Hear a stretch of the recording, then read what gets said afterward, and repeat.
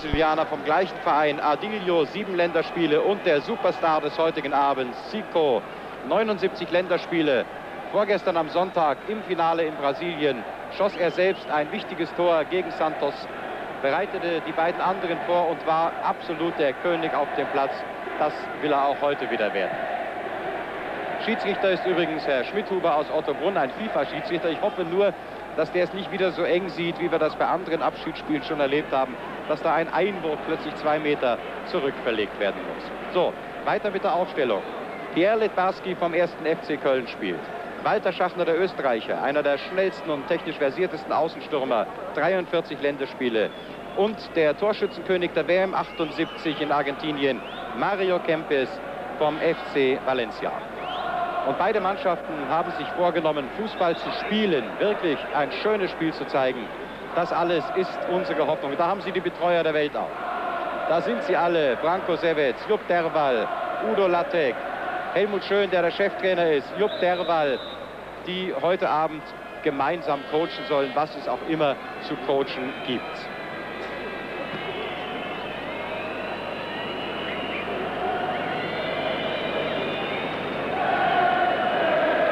Ja, und der FC Bayern, der im Augenblick an Ballbesitz gekommen war, aber schon wieder weg ist, Betzai.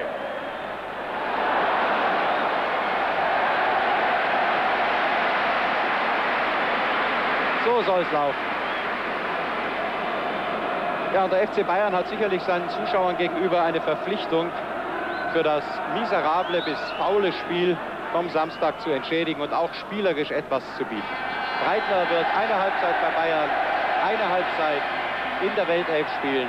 Und Sie sehen an diesen ersten Szenen, da geht man eher mal weg, da lässt man den Ball laufen, da wird Fußball gespielt. Rummenigge, sicherlich als Persönlichkeit der Nachfolger. Und da ist sein jüngerer Bruder, der Michael, am Ball, der heute Mittelstürmer spielt. Rummenigge, der sicher einmal die führende Rolle auf dem Spielfeld in der Mannschaft des FC Bayern übernehmen wird.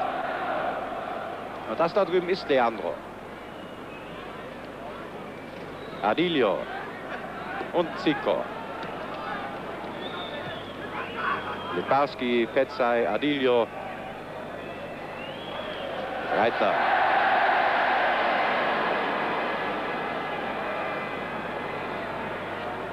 Klaus Augenthaler übrigens wieder dabei bei den Bayern. Breitner hat sich ja vorgenommen, 90 Minuten durchzuspielen. Ob er das mit seiner Verletzung kann, da habe ich noch so meine Zweifel. Schauen Sie auch mal ein bisschen auf den jungen Mann, den Blonden da mit der Nummer 9, auf Michael Rummenigge, der ja im nächsten Jahr, wenn es irgendwie geht, einen Stammplatz im Team des FC Bayern bekommen soll.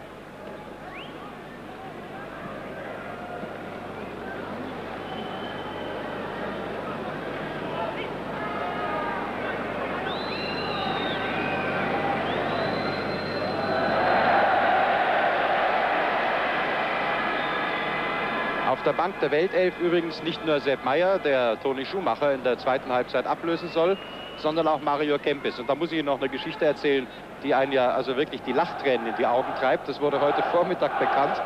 Der Sepp sollte eine Halbzeit beim FC Bayern spielen. Und dann hat einer vom DFB erklärt, das geht nicht. Der Sepp Meyer hat nämlich als AH-Spieler in seinem Heimatverein in Anzig einen Spielerpass und dann kann er nicht in der Bundesligamannschaft vom FC Bayern spielen. Wissen Sie, das mag ja alles den Statuten entsprechen, aber ein bisschen schwachsinnig ist es schon. Gut, dafür spielt er jetzt zur Halbzeit in, die Welt, in der Weltelf und ich glaube, dass das den Zuschauern zumindest genauso gefällt. Dafür hat er die Freigabe dann bekommen. Da waren heute früh ungefähr 50 Journalisten bei einem Symposium zusammen und als das bekannt wurde, Sie können sich gar nicht vorstellen, das war der aufregendste, schönste und lauteste Moment dieser ganzen Veranstaltung. Nur Gelächter.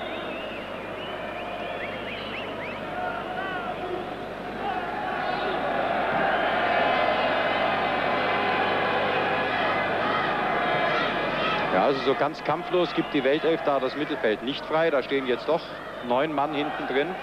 Nachtwey. Del Haie, der sich in den letzten Monaten zum Publikumsliebling gemausert hat. Und schön vorbei. Toni Schumacher.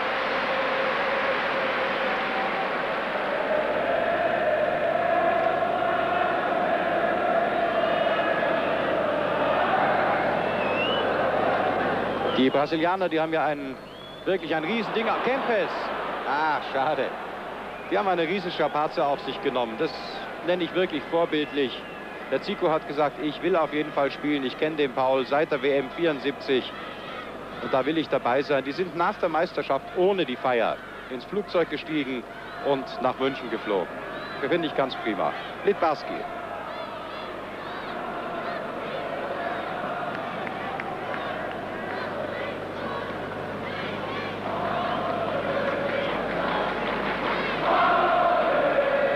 Udo Lattek, der neue Bayern-Trainer, der hat mit ein paar Sorgen gelesen und gehört vom Spiel und von der Spielweise am Samstag. Aber die Bundesliga ist eins und das Abschiedsspiel ein anderes. Herrliches Wetter, es passt eigentlich alles und die Stimmung scheint auch mitzuhalten.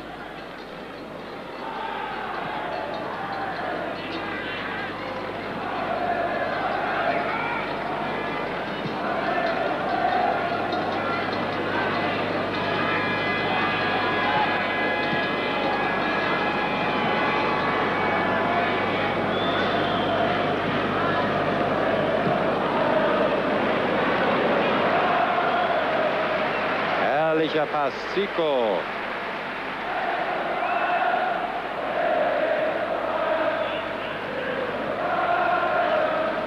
Da ist Leandro. Litbarski.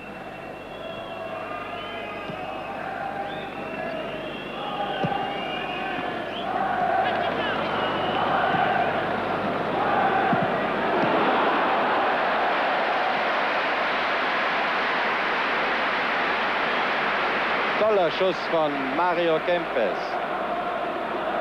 Und tolle Parade von Jean-Marie Pfaff. Über 600 Länderspiele hat diese Weltelf übrigens auf dem Buckel, die hier angetreten ist. Junior, Adilio, die Brasilianer verstehen sich natürlich besonders gut. Leandro. Aber gute Fußballer haben da, glaube ich, kaum Schwierigkeiten, vor allen Dingen keine Sprachschwierigkeiten.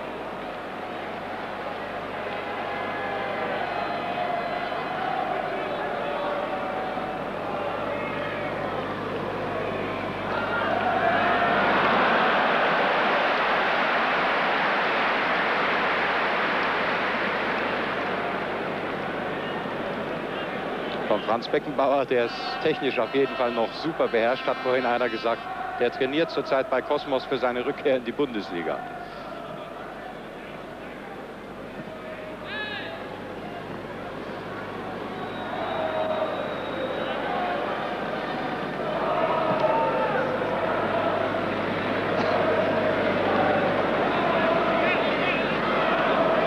Die Bayernbank mit einem gestressten Uli Hoeneß, der umsonst den kleinen Jet geschartert hat und nach Brasilien geflogen ist. Jean-Marie Pfaff ist hier in München ganz schnell zum Publikumsliebling geworden. Nicht nur, weil er was kann, sondern auch wegen seiner persönlichen, sehr menschlichen Art. Michael Rummenigge.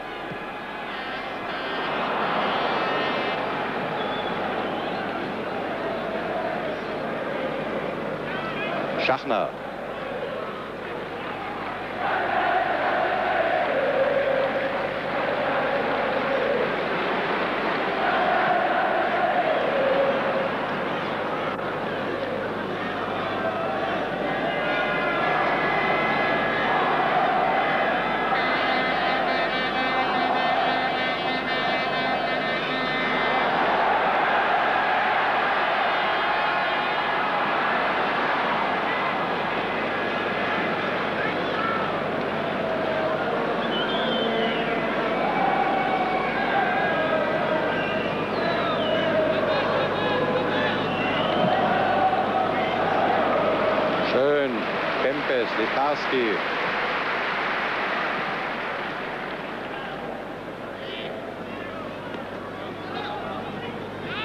Leandro, Zico, Adilio. Schachner. Schade.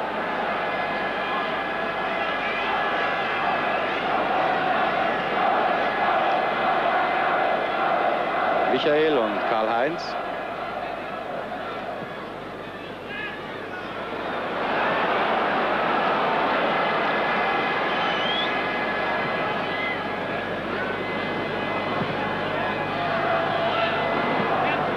Dürnberger.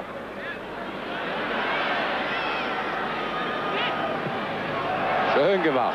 Oh, schade. Ja, so früh hat der Franz dem Paul noch kein Tor gegönnt.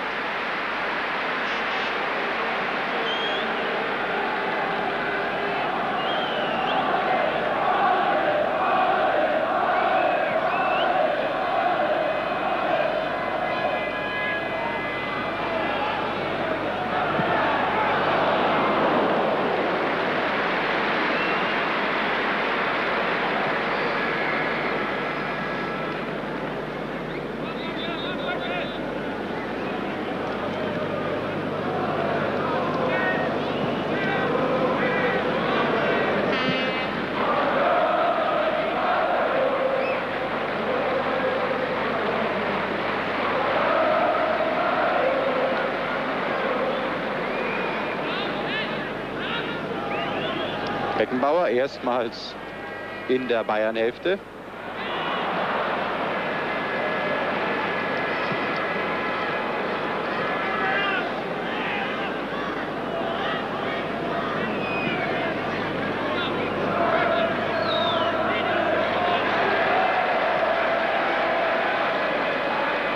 Udo Hausmann wirkt ziemlich ehrgeizig, aber der will auch wieder einen neuen Vertrag haben.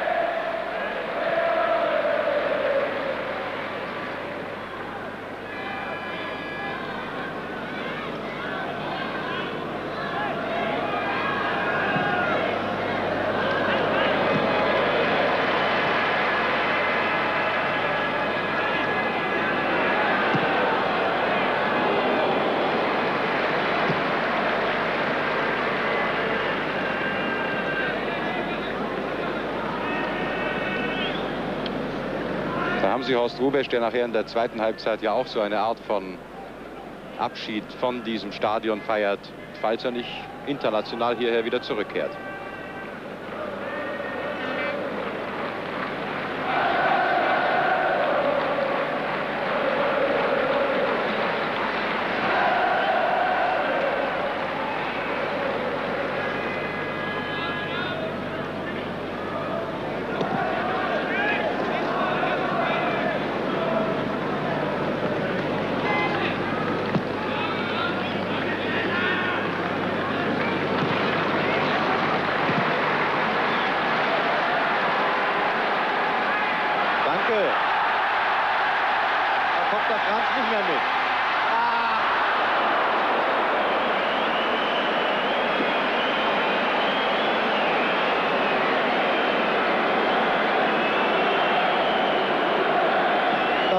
Kalle, dem kleinen Bruder, dem Michael, das erste Tor auflegen.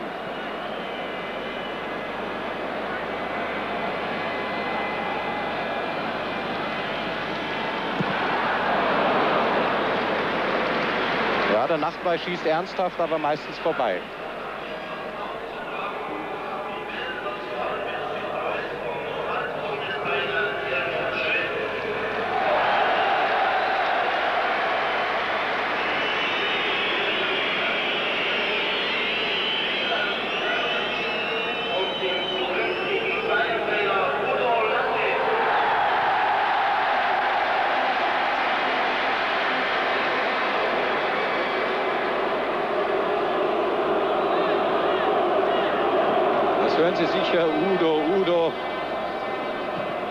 Kommt unter einem ganz schönen Leistungsdruck hierher.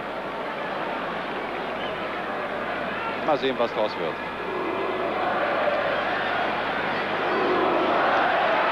Karl-Heinz wieder für Michael.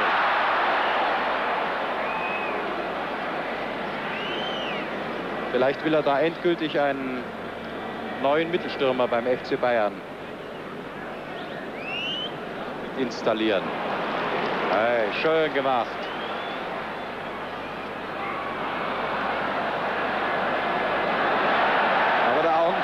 Franz auch.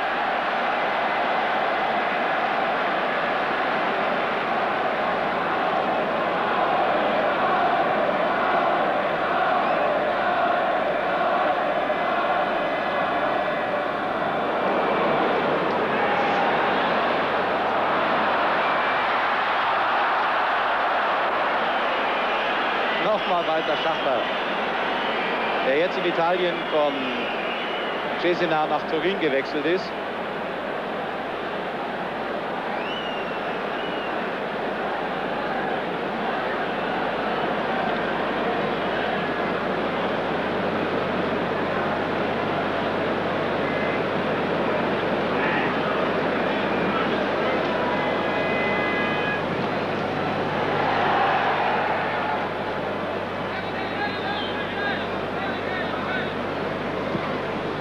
Wie oft haben wir den Franz Beckenbauer so gesehen? Bälle abfangen, elegant, sicher, schnell, verteilen, aufbauen.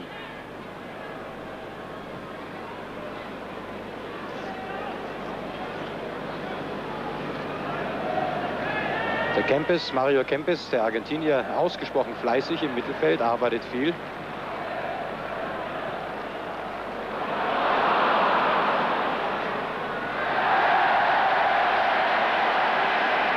Dass da keiner ernsthaft versucht hat, den Ball noch zu kriegen und eine Verletzung zu riskieren. So muss das bei so einem Spiel sein.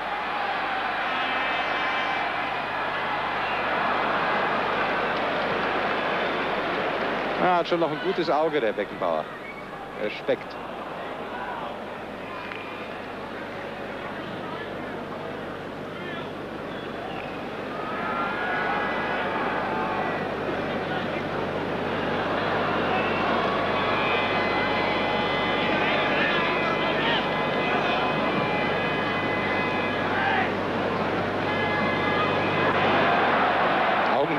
Raunen ist die Aufforderung zum Schuss, denn der hatte einen kernigen Schuss.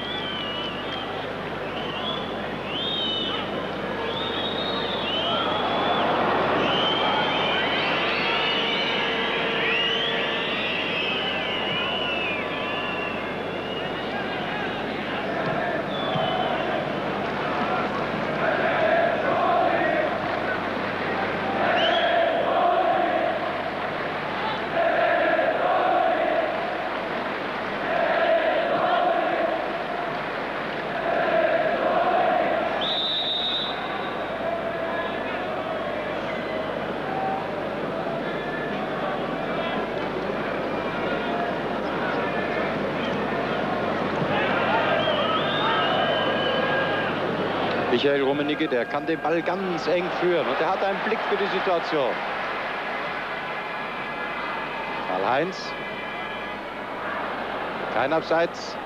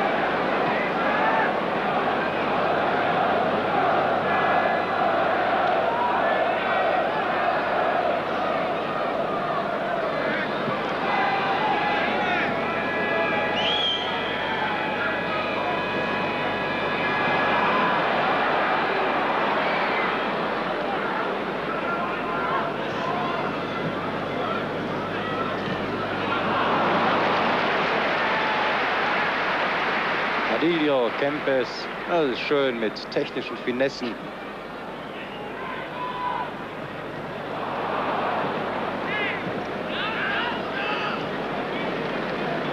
Leandro.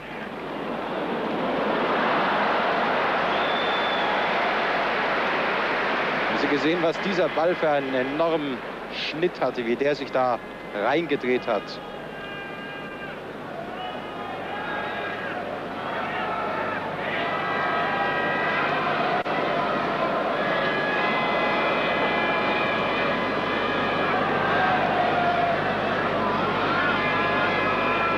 Breitner meistens in der Spitze, möchte wohl gerne ein Tor machen.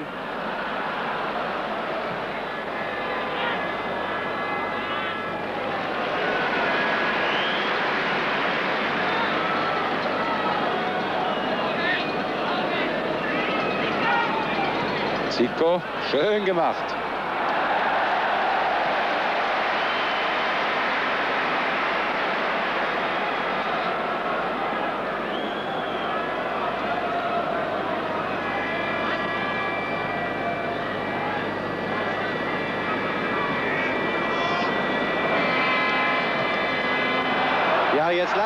Schießen.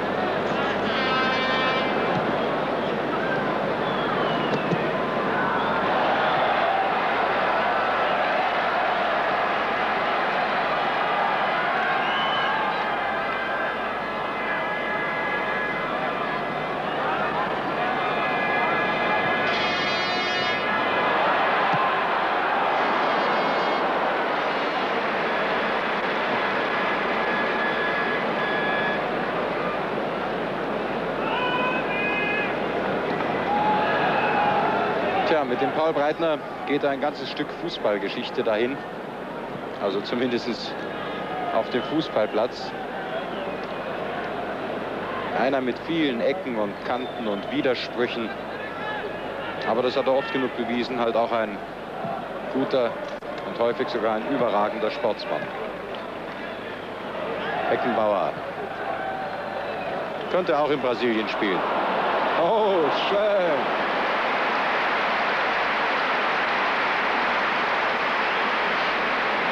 Junior.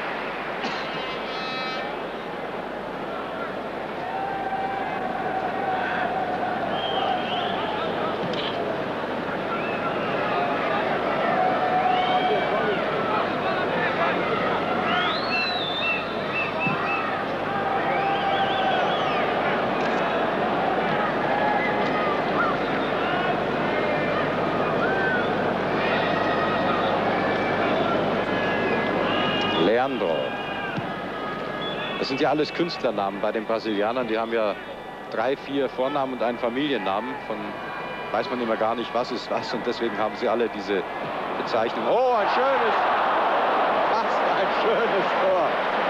Wer war das denn? Augenthaler. Stammschuss.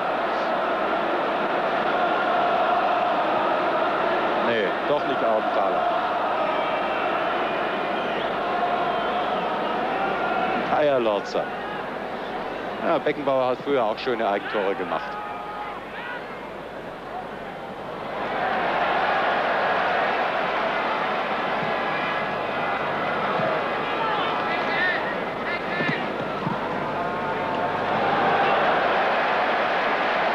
Schön gesehen wieder. Der Pass kam von Michael Rummenigge.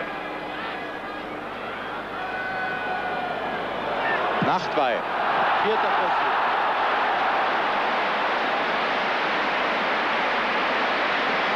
Aber so langsam scheint es sich einzuschießen.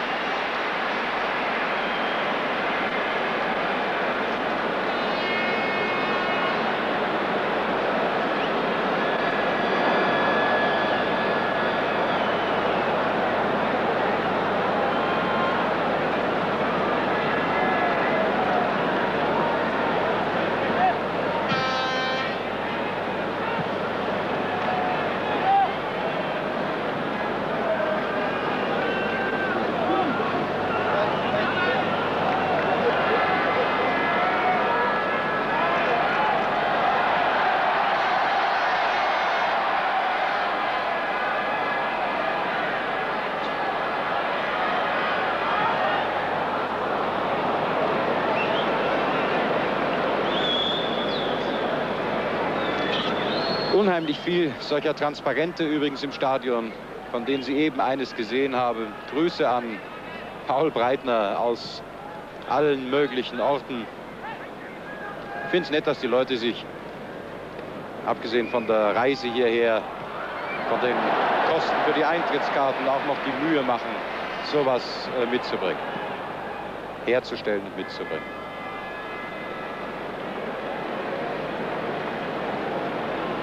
Bayer,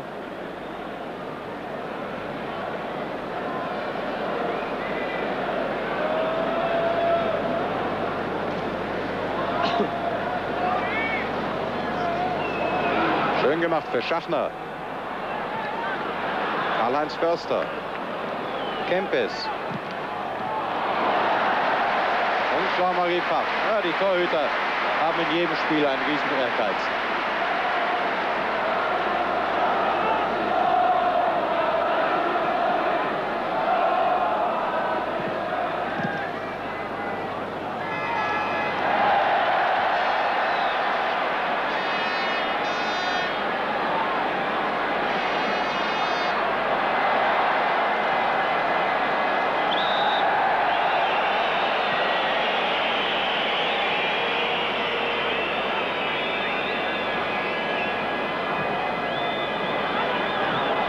Rummenigge, Karl-Heinz.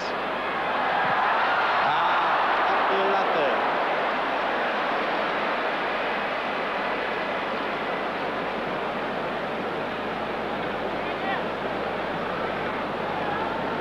Der Karl-Heinz Rummenigge hat so das Gefühl, dass jetzt nach äh, 26 Minuten rum doch mal ein Tor fallen sollte. Muss ich ihm recht geben.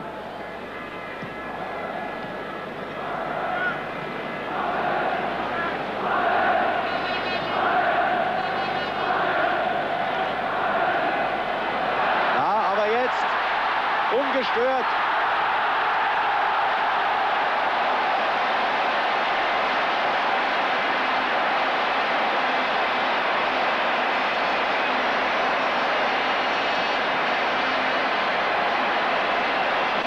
Der Junior hat ihm gar nichts getan, der Toni Schumacher auch nicht.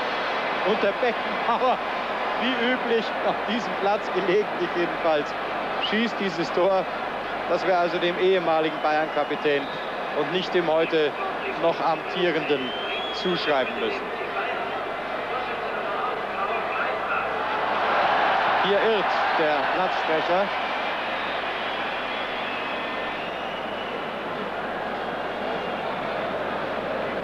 Littbarski Junior. Da ist Zico. Betzai.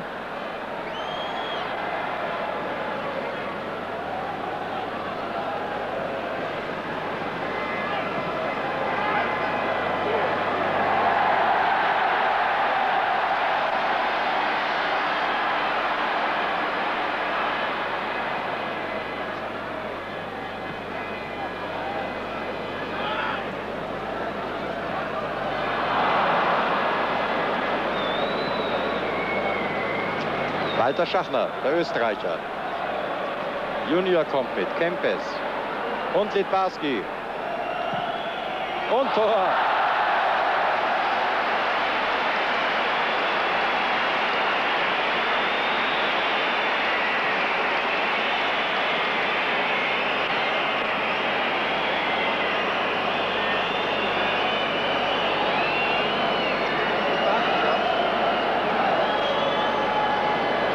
Schön in die lange Ecke gezogen. 1 zu 1 nach 28 Minuten.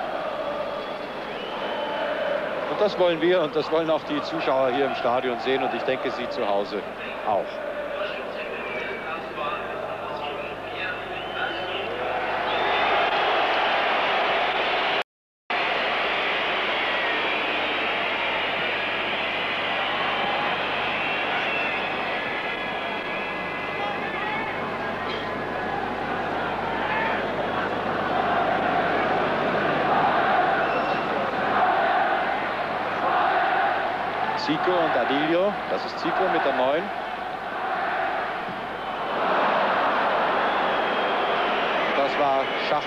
Gegen den Rasen.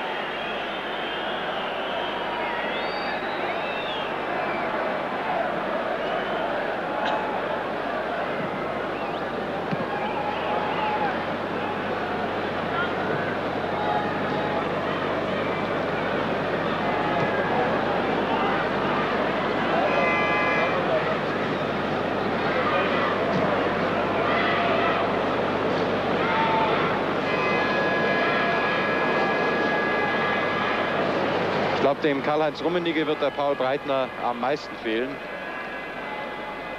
Denn die beiden waren ja in etwas verkleinerter Form das, was früher die Achse Beckenbauer-Müller war.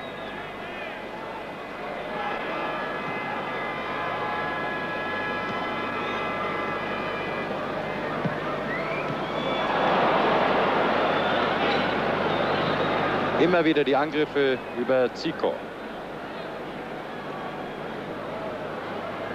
Adilio mit der 8. Da ist wieder Zico.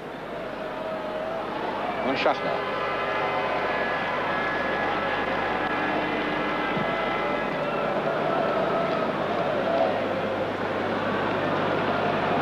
Mario Kempes. Sechs Tore hat er 78 bei der WM, als seine nationale Weltmeister wurde geschossen in Argentinien. Und jetzt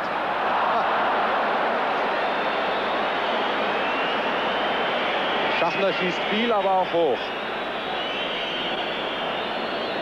Herrlich herausgespielt von Adilio.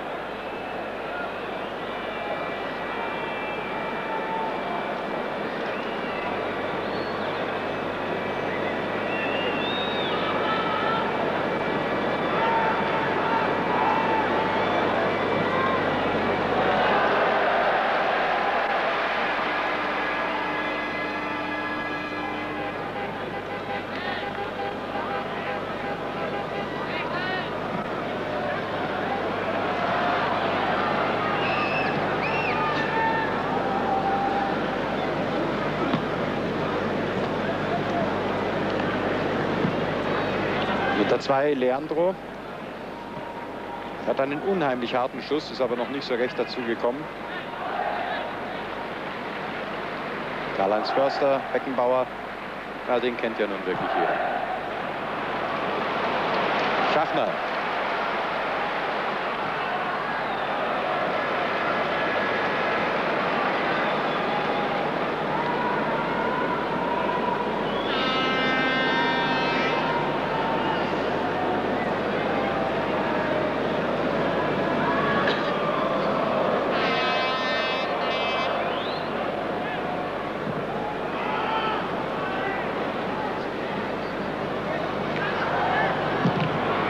Schön aufgelegt für Petzai.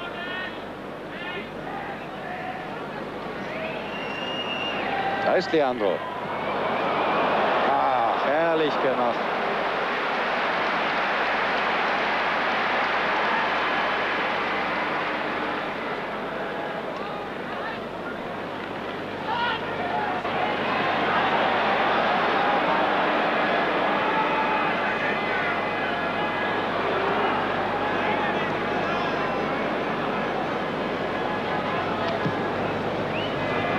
Ja, das war doch ein Stück zu weit vorn, wo sich der Michael Rummenigge dahin geschmuggelt hatte.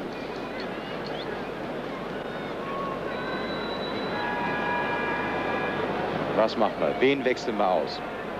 Wie spielen wir weiter? Ernste Beratungen eines hochkarätigen und auch ganz gut bezahlten Trainerkollegiums.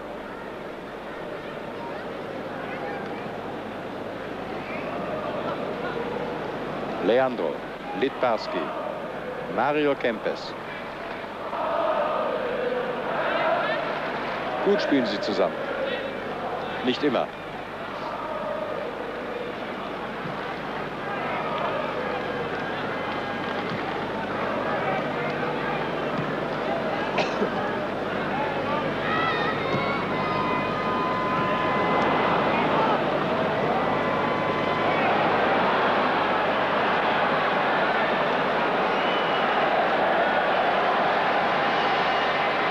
Also dem Walter Schachner gönnen die Leute hier so ab und zu einen Misserfolg.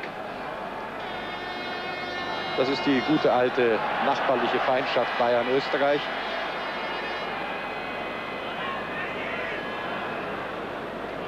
Dürnberger.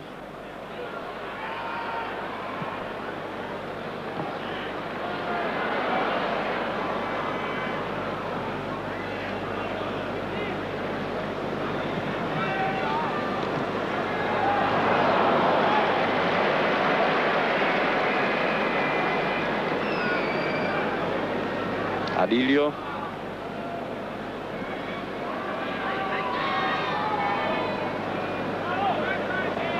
Zico, der kann am Ball unheimlich viel. Und wieder Schachner. Und Pfaff.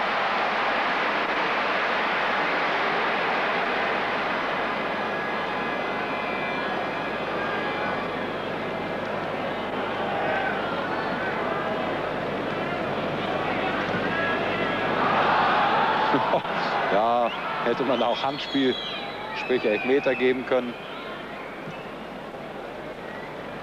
Schauen sich das an. Herrlich, der Pass aus dem Stand. Zico mit der Hacke angenommen und den Ball so dran behalten. Ah, diese Brasilianer sind schon ein Genuss.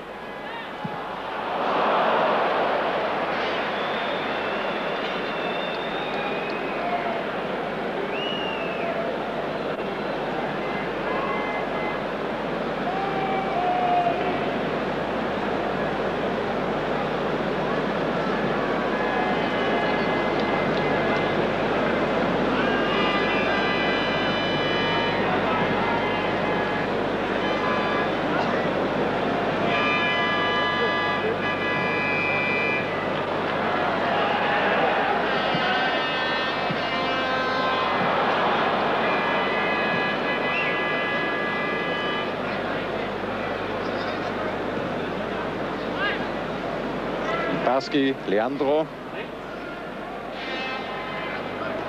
Immer noch Leandro. Zico, schön liegen lassen. Und das ah, musste doch fast ein Tor werden. Aber der Bertram Bayer-Lorzer, der Bayern-Verteidiger mit der Nummer 2, spielt ziemlich energisch gegen Walter Schachner. Unter anderem übt er ja auch für das Spiel am Samstag, wo er gegen seinen ehemaligen Club, den 1. FC Nürnberg, antreten muss. Oh, schade. Pfaff verletzt. Hoffentlich nichts Schlimmes.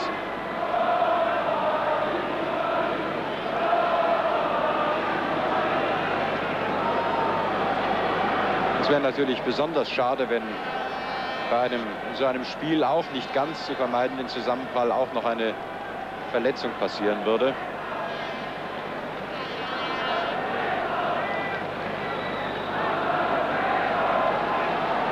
Schauen sich dieses prächtige Bild an.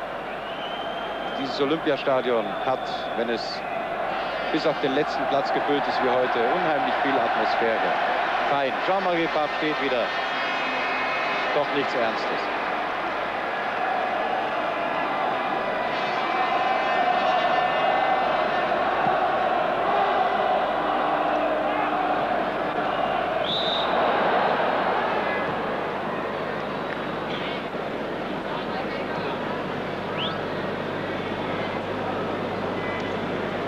Junior.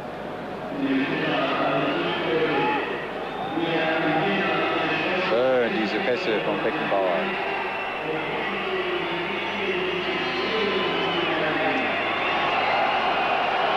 Abilio, Zico.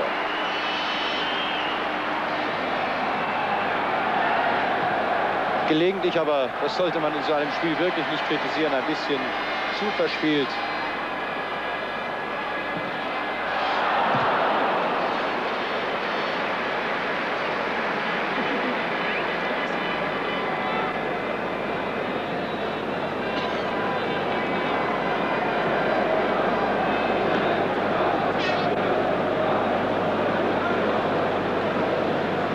Junior, Mario Kempes.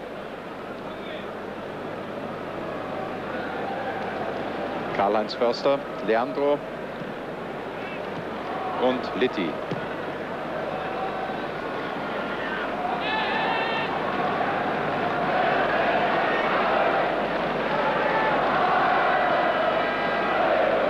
Zico.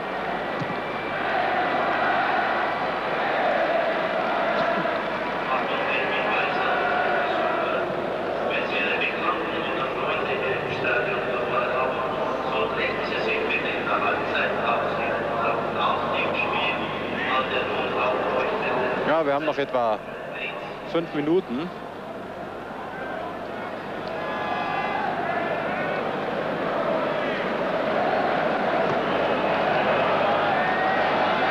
Eins zu eins immer noch zwischen Bayern und der Weltauswahl. Eigentlich könnte sich wieder mal ein bisschen was rühren. So, was zählt.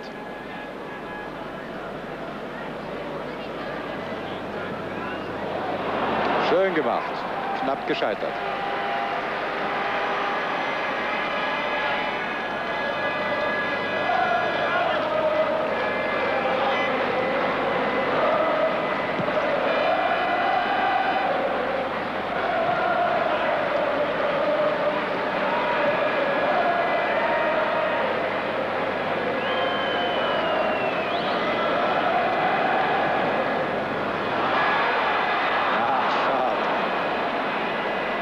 der Michael möchte auch zu gerne ein Tor schießen.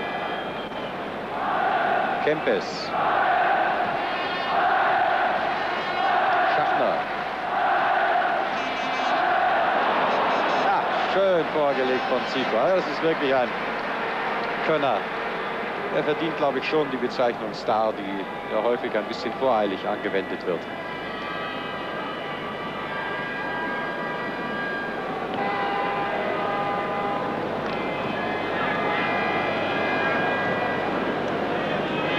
Karl Breitner übrigens immer noch mit einem ziemlich geschwollenen Knöchel, mit einigen Schmerzen. Aber er war ja schon immer ein harter Bursche und hat gesagt, ich spiele auf jeden Fall durch. Ich will nicht vorzeitig aufhören. Nicht in diesem Spiel.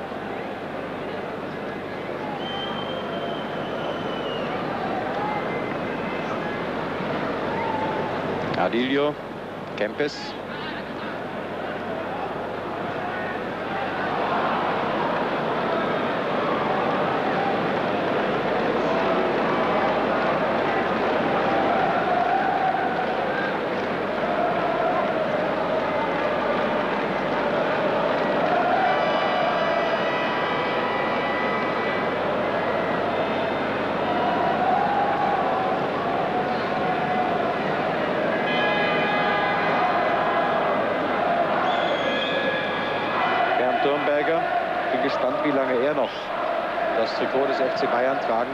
ist ja einer von den ganz alten, in Anführungszeichen, Liparski.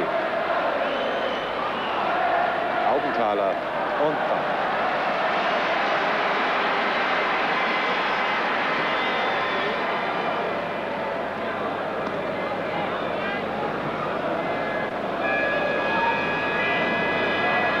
Breitner links außen frei.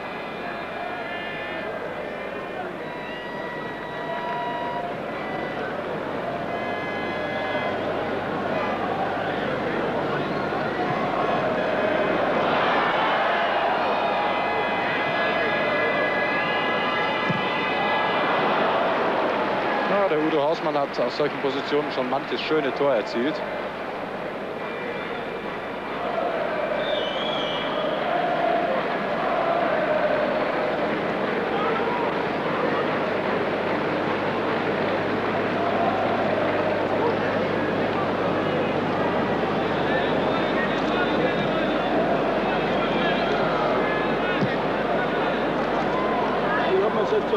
der Karl-Heinz Förster kann so schöne lange Pässe schlagen. Natürlich vor allen Dingen und besonders in so einem Spiel. Kempes, Zico, Junior. Bitbarski.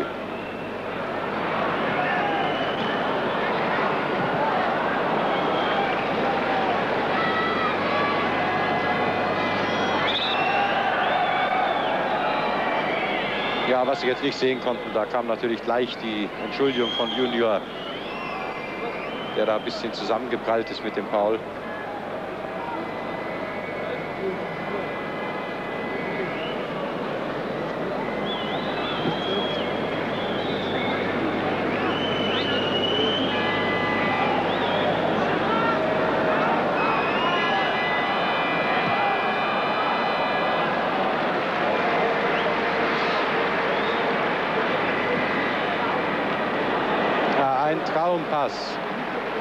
Für Litbarski, aber er muss noch ein bisschen warten.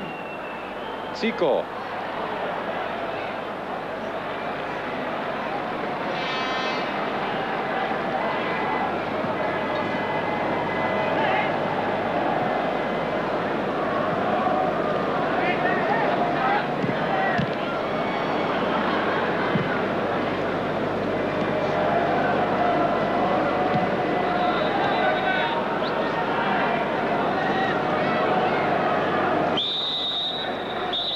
So, Halbzeit 1 zu 1. Ich hoffe, dass wir in der zweiten Halbzeit noch viele technische Kabinettstückchen und hoffentlich noch ein paar Tore mehr sehen werden.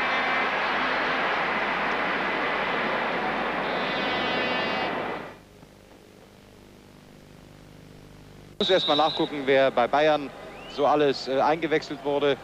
Es kann sich im Prinzip zunächst mal nur um einen handeln. Und es spielt jetzt auch Horst Rubesch. Und zwar, wenn ich das richtig gesehen habe, in der Weltelf für Mario Kempes. Er trägt die Nummer 10.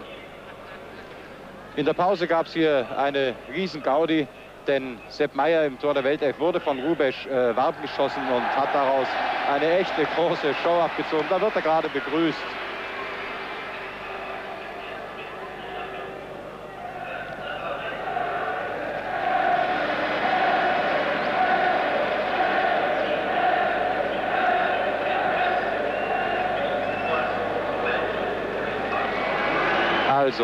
Rubesch für Mario Kempes, das hatte ich richtig gesehen. Und Beckenbauer ist draußen und für ihn spielt jetzt Breitner in der Weltelf. Ja, vielleicht sogar die Rolle des Libero. Und im Tor ist jetzt für Jean-Marie Pfaff, äh, für Toni Schumacher Sepp Meyer.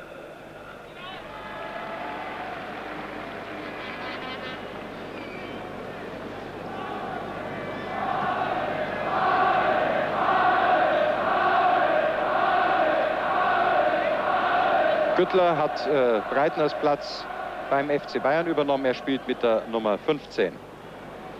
So, jetzt haben wir, glaube ich, alle Auswechslungen durch. Da ist Güttler. Und was ich ein bisschen bedauere, dass der Franz Beckenbauer nicht mehr da ist, denn ich hätte mal sehen wollen, was der Sepp macht, wenn der am Ball gewesen wäre. Und vor allen Dingen Richtung eigenes Tor gespielt hätte. Da hat er ja einige ungute Erinnerungen.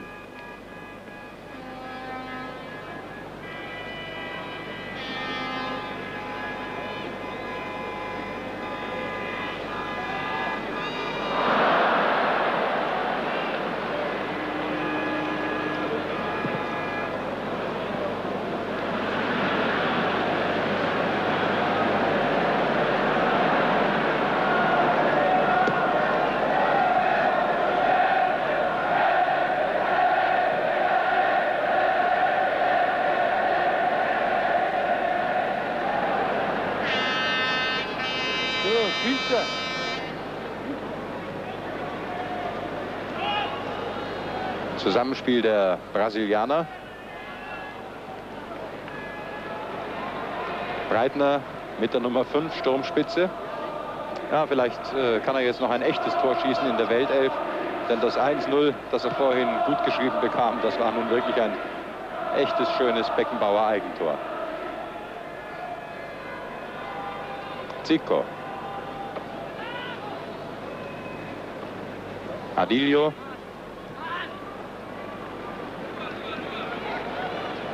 Litbarski.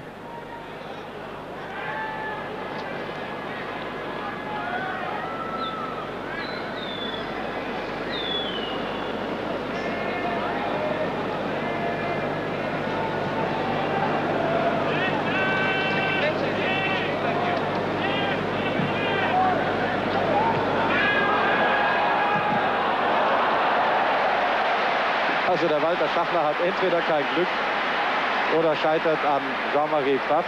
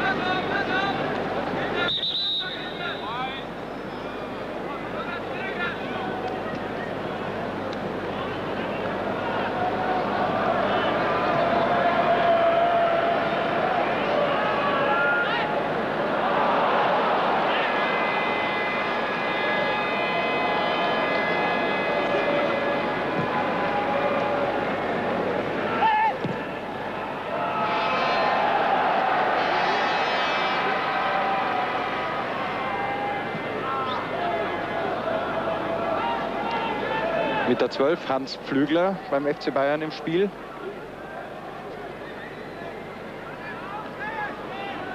Rummenigge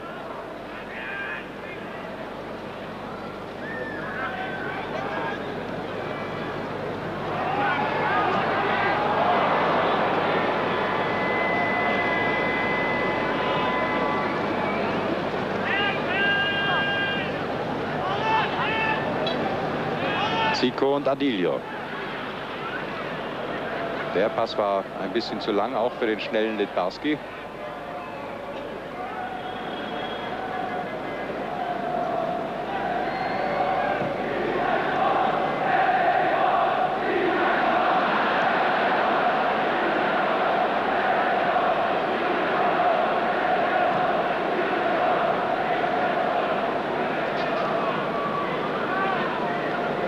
Güttler. Nochmal. Hat einen guten Schuss. Und Rummenigge.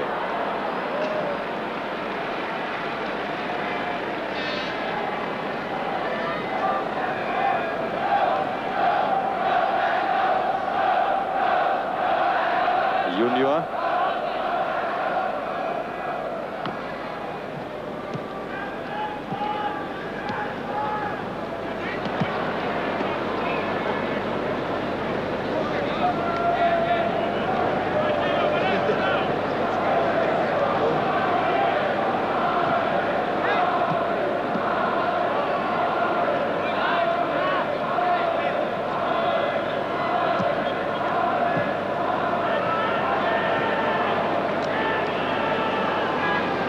Ach, vielleicht legen sie jetzt so ein bisschen äh, vom falschen, in diesem Moment falschen Ehrgeiz ab und zeigen wieder ein bisschen von dem, was in der ersten Halbzeit so schön war.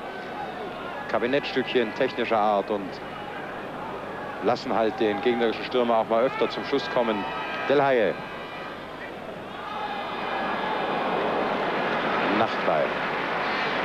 Dass sich einfach vor den Toren ein bisschen mehr tut und auch die Torhüter zeigen können, was sie alles drauf haben.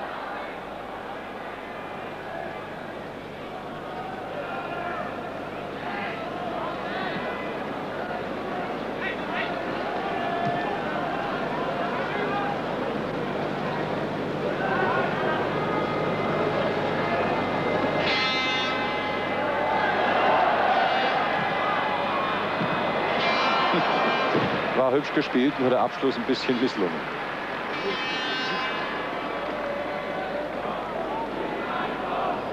Flügler, von dem man ja beim FC Bayern auch einiges erwartet für die nächste Saison.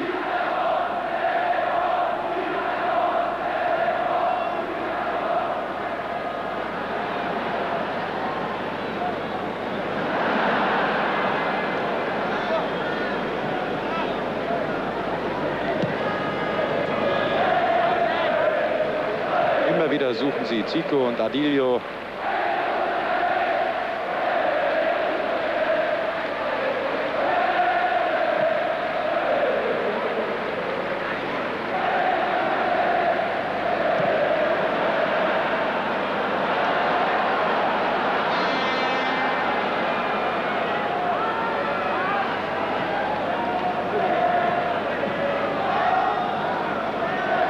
Del Haye.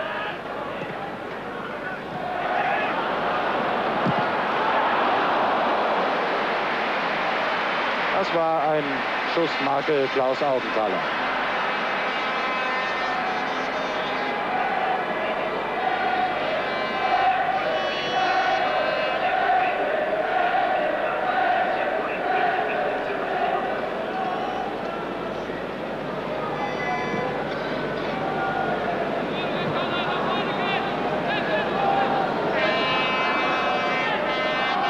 Zico, sicherlich der Mann auf dem Spielfeld mit den meisten Ballkontakten. Adilio.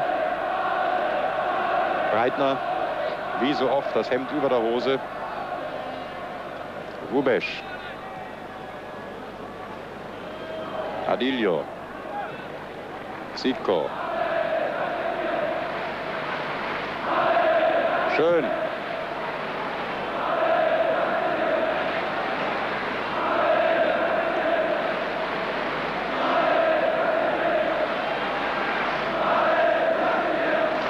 Karl-Heinz Förster, Fußballer des Jahres 82. Hat 48 Länderspiele, so viel wie Breitner insgesamt erreicht hat. Der Karl-Heinz Förster wird ja sicher noch einige machen.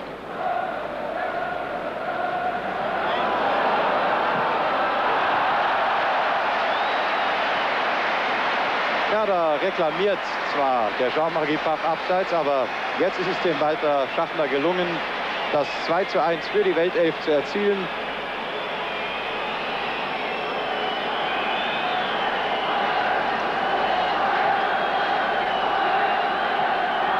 Schöne Vorarbeit von Junior und aus vollem Lauf. Da gab es nichts mehr zu halten. Das 1 zu 0 eine Gemeinschaftsarbeit für den FC Bayern Breitner Beckenbauer. Das war so Mitte der ersten Hälfte. So. Ja. Die bayerisch-österreichische Nachbarschaft.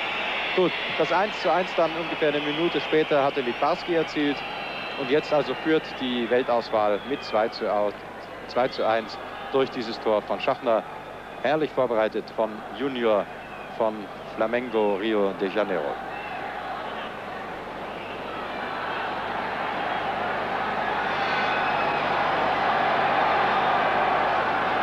Nach zwei.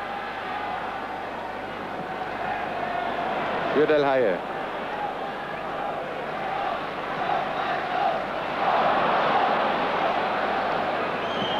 Junior. Schön gespielt. Litbarski. Zico. Junior, Zico. Oh, ein schöner, ein raffinierter Schlenzer aus dieser Position. Der kann wirklich was.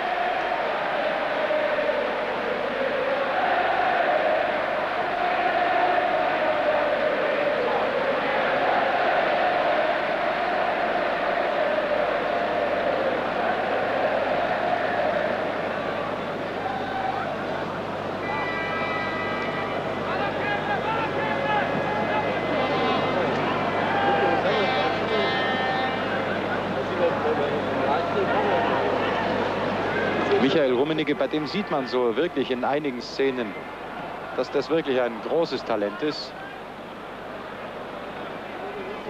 Sein Bruder Karl-Heinz hatte ja auch einige Anlaufschwierigkeiten im großen Fußball.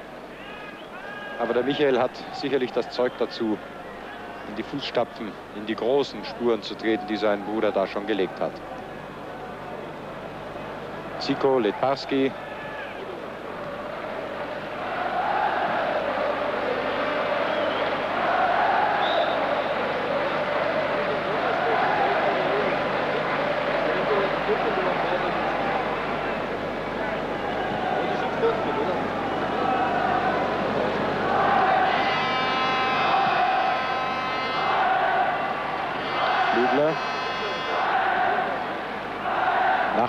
Hat noch einen Schussversuch frei. Oh, der war wirklich nicht von schlechten Eltern. Aber der Sepp Meier hat gezeigt, dass er wirklich noch nichts verlernt hat. Ich glaube, der hatte die Fingerspitzen dran.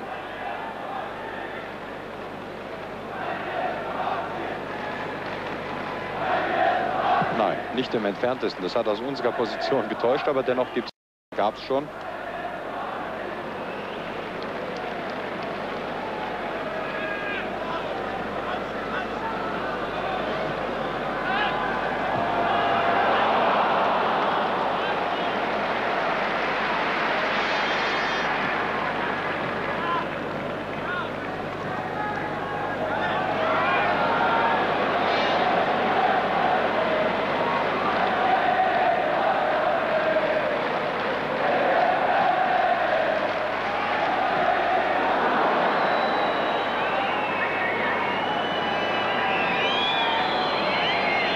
Sich der Kalle Del Haie bei seinem Einsatz wohl doch ziemlich wehgetan. Am Karl-Heinz Förster kann man sich auch wehtun, obwohl der nun gar nichts dafür konnte. Oh ja, hat Nasenblut.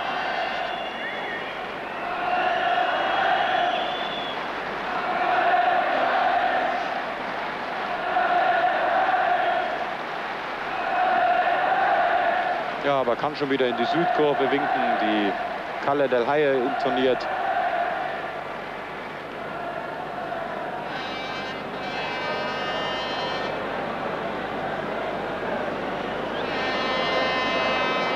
Er wird wohl gleich wieder weitermachen können. Knapp 15 Minuten gespielt, 2 zu 1 für die Weltelf. Und vielleicht könnte man weiterspielen und den Del Haie an der Linie behandeln. Bei so einem Spiel müsste das doch eigentlich möglich sein.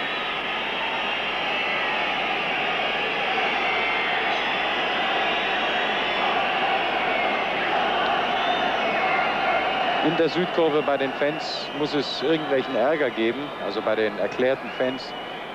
Ja, Del Haie zeigt der Mannschaftsarzt an, soll ausgewechselt werden, denn da ziehen Ordner auf. Kann Ihnen nicht sagen, warum. Zu beobachten war im Augenblick jedenfalls nichts.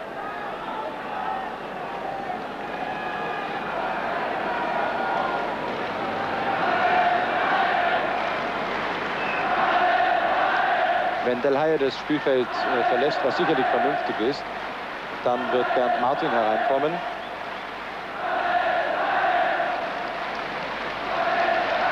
Ja, das scheint nicht weiter schlimm zu sein, aber es schaut natürlich im Moment böse aus. Und warum soll man irgendwas riskieren? Er soll ja am Samstag und muss im letzten Bundesligaspiel in Nürnberg nochmal antreten und soll möglichst fit sein.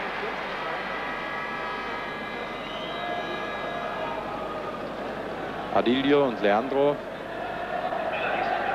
Breitner. Junior kommt mit. Da ist er mit der 4.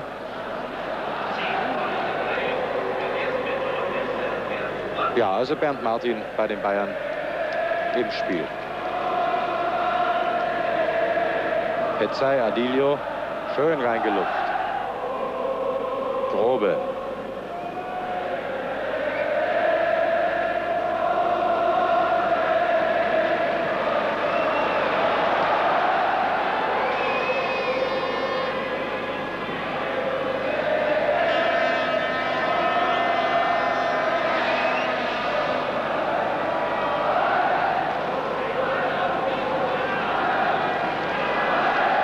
Weltelf sollte jetzt vielleicht mal den Horst Rubesch in die Mitte postieren, über die Flügel spielen, damit sich da vor dem Tor der Bayern wieder ein bisschen was rührt. Da ist Bernd Martin. Nachtweil. Rummenigge. Schießt doch mal.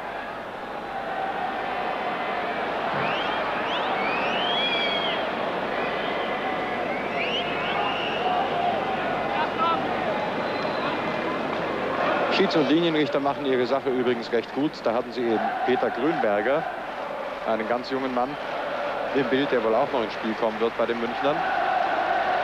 Die Schieds- und Linienrichter machen ihre Sache übrigens gut, lassen das Spiel, soweit die Regeln es irgend zulassen, laufen. Natürlich muss man klare Ausentscheidungen geben oder klares Abseits pfeifen.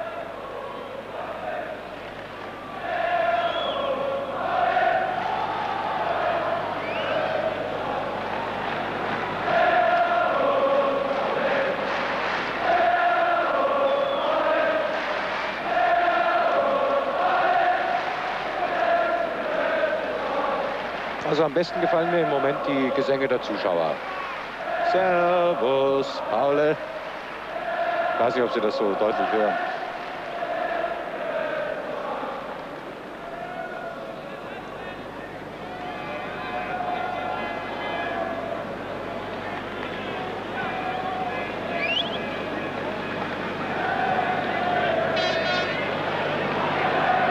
Schachner hat sich da schön vorbeigemogelt. Rubesch Litbarski, der Doppelpass nicht ganz angekommen.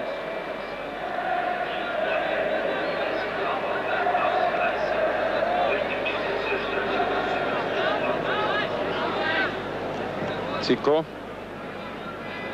Adilio. Junior.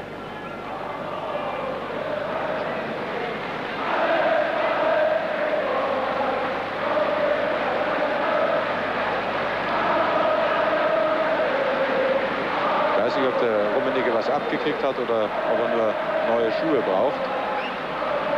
Steht jedenfalls noch an der Seitenlinie. Ja, wird ein bisschen behandelt wohl am Schienbein. Rubesch, nicht ganz. Förster. Abgepfiffen. Zeigt in aller Unschuld seine Hände. Der Schiedsrichter meint wohl, er habe den Ball mit der Hand, mit, ja, deutlich mitgenommen. Also kein gültiges Tor. 2 zu 1 für die Weltauswahl gegen den FC Bayern, der inzwischen auch vier neue Spieler im Feld hat. Da ist einer davon. Güttler und Karl-Heinz Rummenigge wieder dabei.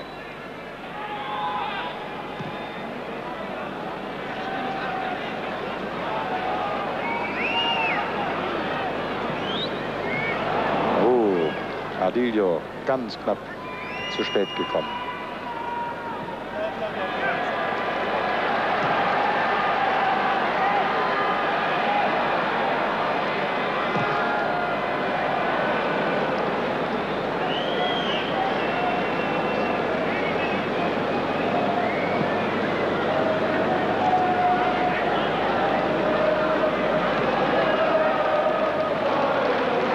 Adilio, Zico.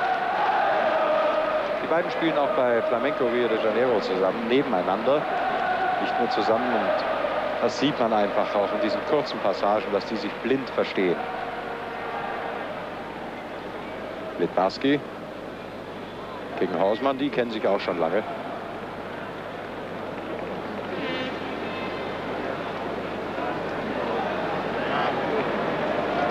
Schaff, Eierlotzer,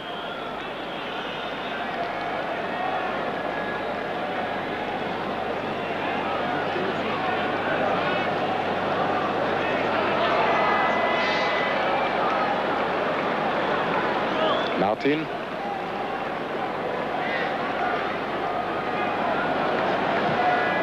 Junior.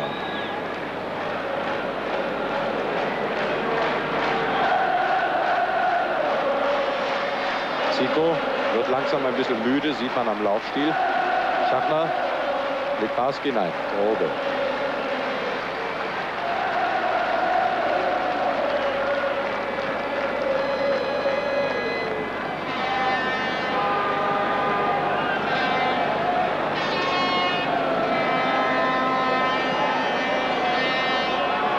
Grobe. Oh, da hat er ja fast mal getroffen.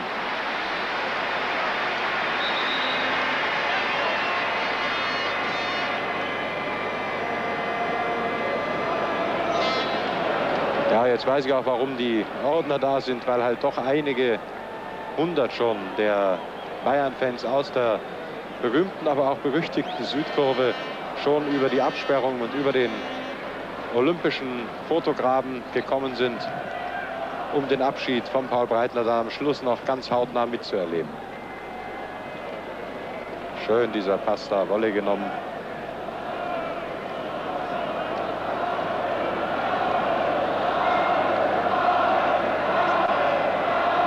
Bruno Petzai, Zico, Breitner,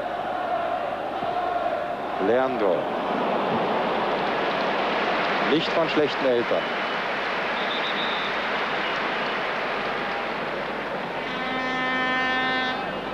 Bei Bayern kommt jetzt Peter Grünberger ins Spiel.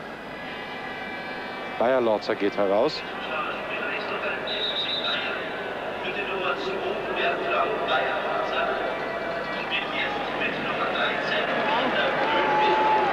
Also eine Gelegenheit äh, für alle mal ein bisschen mitzuspielen. Da hatten sie übrigens, übrigens gerade den ehemaligen Co- und augenblicklichen amtierenden Trainer der Bayern, Reinhard Saftig.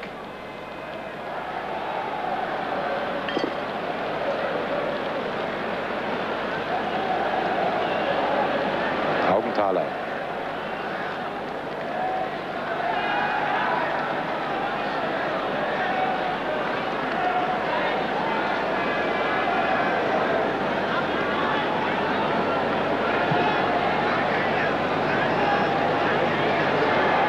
schießt doch mal. Können doch ruhig mal 20 Meter sein. Es geht ja hier nicht darum, ein Unentschieden zu verteidigen oder einen knappen Vorsprung über die Zeit zu bringen. Hausmann, Rummenigge. Jawohl.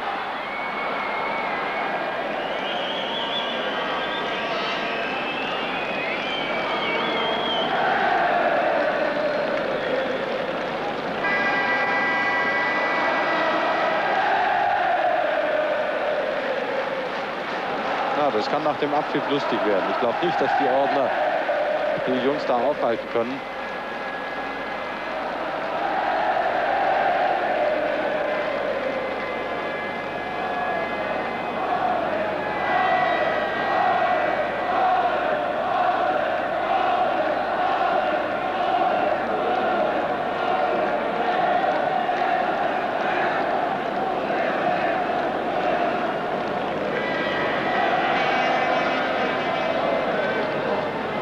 von Paul Breitner, der da äh, gerade einen, einen seiner wenigeren Sports anzieht. Aber ich sage nochmal, er hat immer noch eine sehr geschwollene, einen sehr geschwollenen Knöchel, eine Verletzung, die wehtut. Das behindert natürlich schon arg.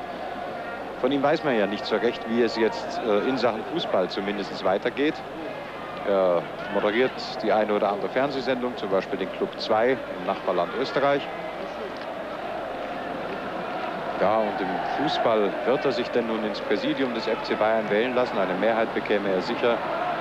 Oder wird er nicht in die Rolle eines Funktionärs schlüpfen wollen, die er ja so oft nicht immer zu Unrecht gescholten hat? Ich bin ziemlich gespannt. Adilio, Breitner. Ah, schade.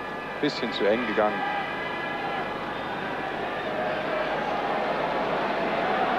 Augenthaler, der will, das sieht man, der will jetzt ein Tor machen. Der kann aus der Entfernung schießen. Aber der Sepp weiß auch wohin.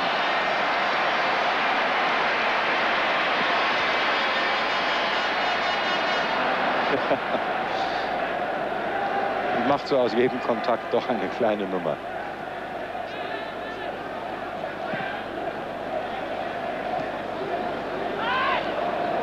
Schachner Adilio, nochmal für Schachner und Pfaff.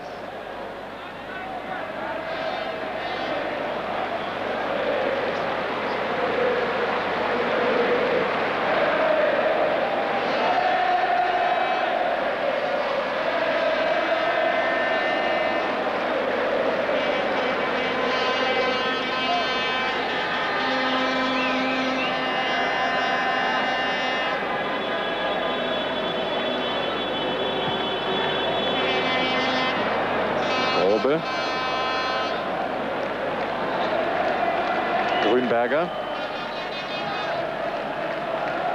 Nochmal Grobe.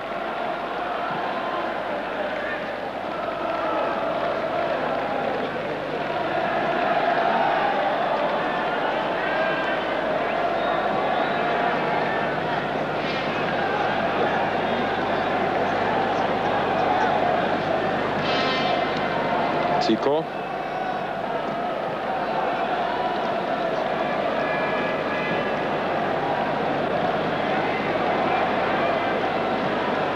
Da will von den Abwehrspielern auf beiden Seiten keiner äh, mal irgendwie ein bisschen schwächer aussehen. Die nehmen es mir jetzt im Moment alle ein bisschen zu ernst.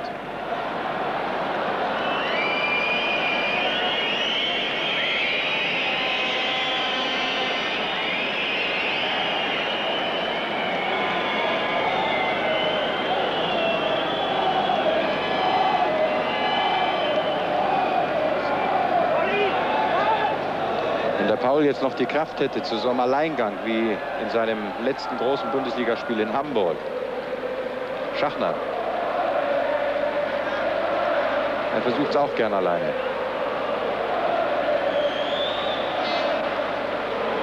Leandro. Liparski, nochmal Leandro. Oh, schade.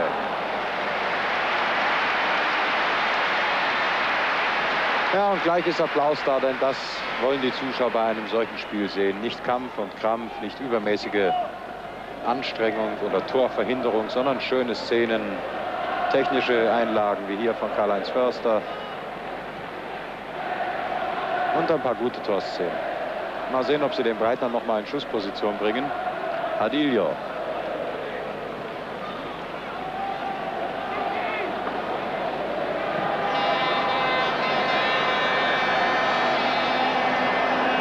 Linebacker. Was Sie im Moment nicht sehen, was wir Ihnen aber gleich zeigen werden, während der Karl-Heinz Rummenigge hier den Ball führt. Die Fans jetzt, da haben sie sie schon fast im Bild, an der Torauslinie, waren nicht mehr zu halten. Rummenigge, jetzt kann er eins machen.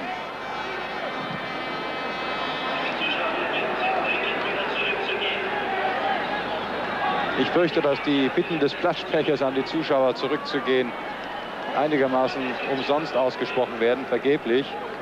Auch an der Seitenlinie vor der Haupttribüne ziehen sie jetzt auf. Mein Gott, was soll's. Solange sie nichts anstellen und solange sie das Spiel nicht stören. Grobe.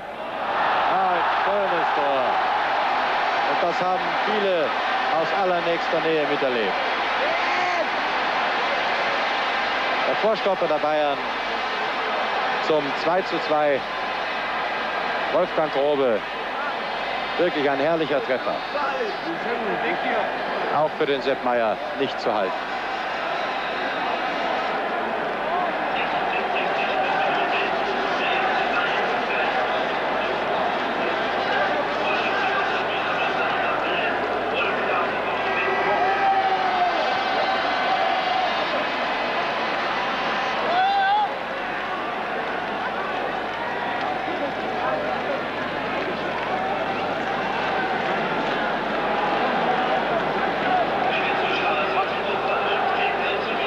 jetzt passiert es halt leider doch, dass einige der begeisterten oder vielleicht auch ein bisschen betrunkenen Fans ins Spielfeld reinrennen.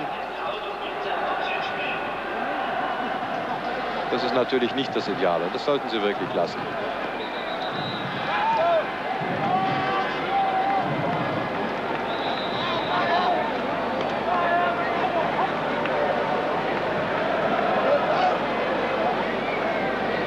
Ordnungsdienst will dann natürlich auch nicht hart durchgreifen. Es wäre auch schade, wenn es hier noch unangenehme Zwischenfälle geben würde, gerade bei einem solchen Anlass. Also 2 zu 2 steht diese Partie.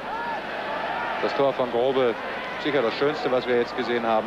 Rummenigge, einer, zwei, drei waren zu viel.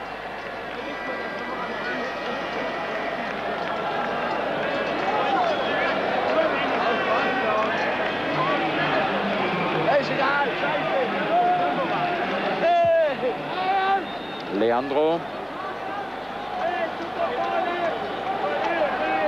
Breitner. Adilio. Zico.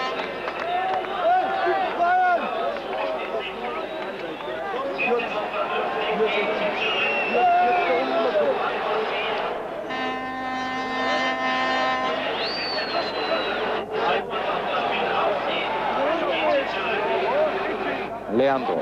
Litbarski. Und fast vor Ruben.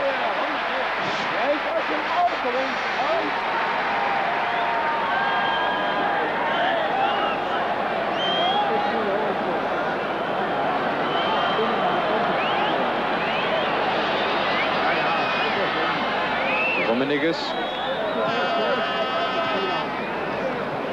Junior. Herrlich gemacht, wie der den Ball da runternimmt. Adilio. Jetzt wäre mal Platz da vorne. Zico.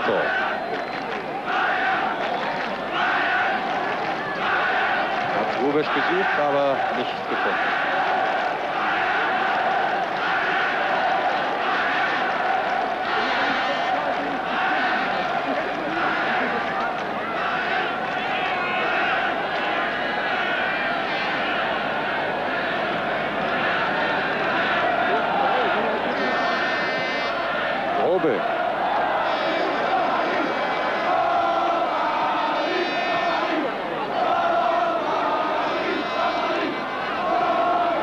Grünberger.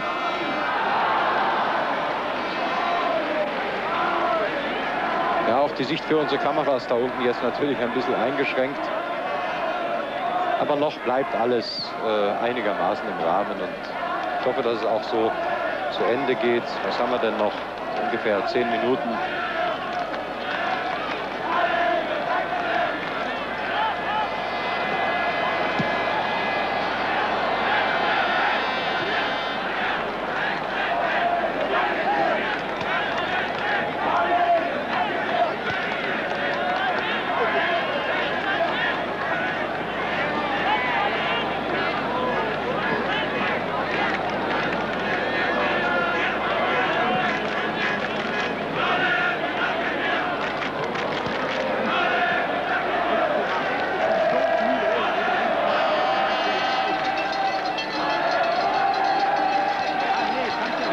Ich habe es vorhin schon mal gesagt, dass ich wirklich überrascht bin von den vielen Transparenten, auch von den Gesängen Paul, wir danken dir. Denn er war ja nie ein bequemer und eigentlich nie so der, der große Heros.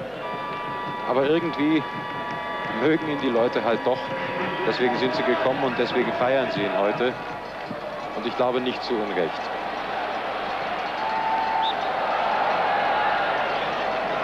Ja, Hausmann gestoßen. Warum eigentlich? Warum lässt er den Schaffner nicht laufen und schießen?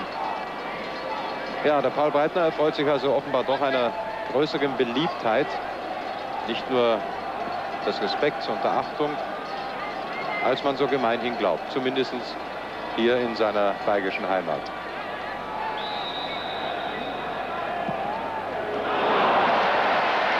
Nicht schlecht, was der Zico da losgelassen hat und der Jean-Marie im Bayern-Tor abwehren konnte.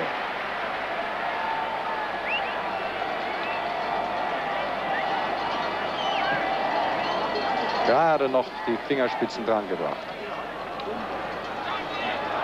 Und ja, oh, schade.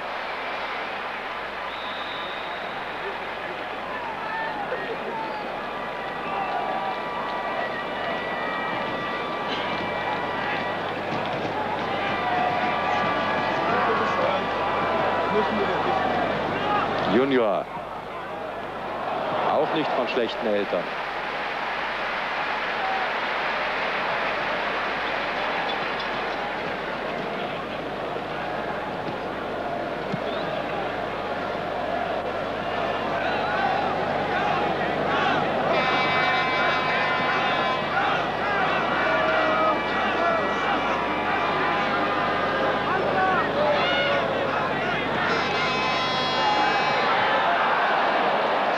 Karl-Heinz und Michael.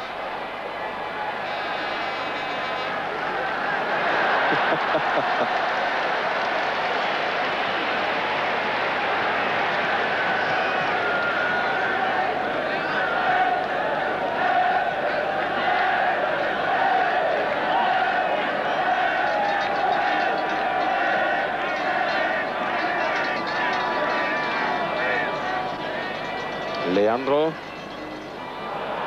Schön freigespielt. Und, ah, schade.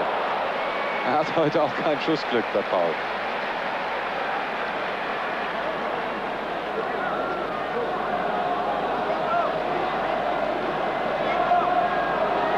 Zico und Adilio verschaffen ihm da freie Schussfahrt. Schön gemacht.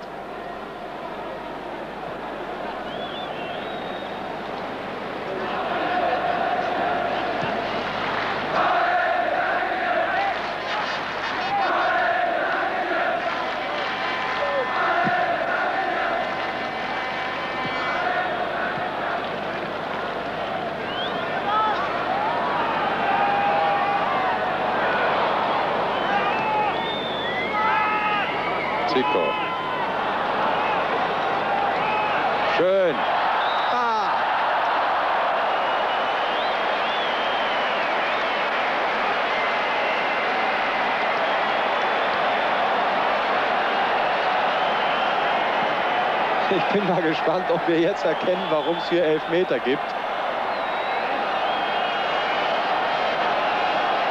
Ja, der Augenthaler hat ein bisschen geschubst. Na gut.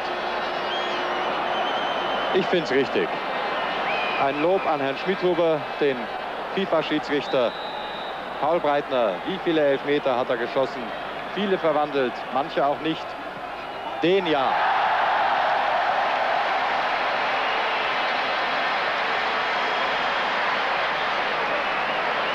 Also ich ziehe meinen Hut vor Herrn Schmitzhuber, der dieses Spiel hier leitet, der die allererste und allerkleinste Möglichkeit gesucht hat,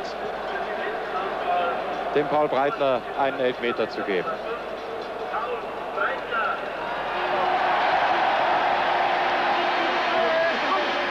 Allen Respekt.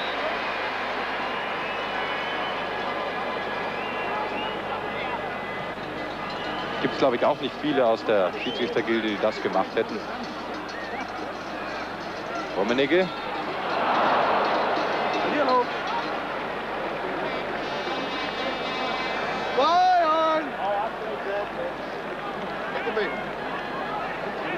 Ja, so in vier Minuten ungefähr wird die Volksseele hier überkochen und werden die Spieler fliehen müssen. Ich glaube, der Paule wird da auch nicht ganz ungerupft davon kommen. Jetzt haben wir zwei Bälle im Spiel.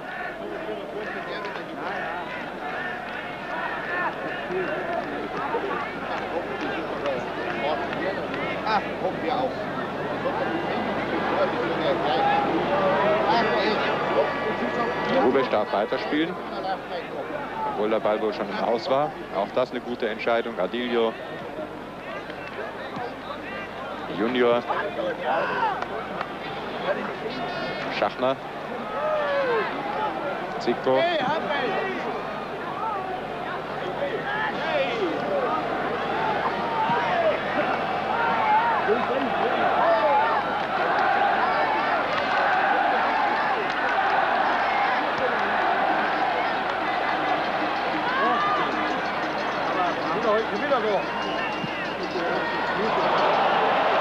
Herrlich. Adilio.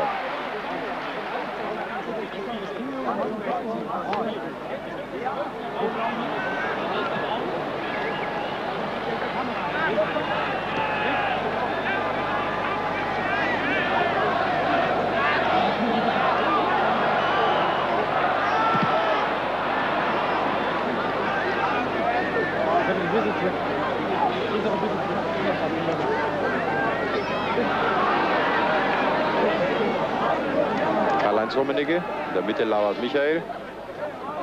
Grünberger.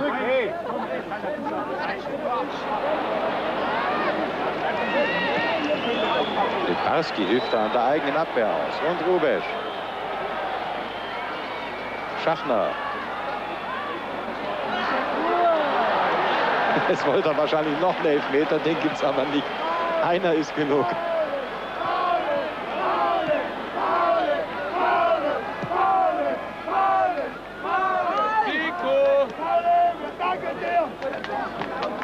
Ja, Petzer ist auch Techniker.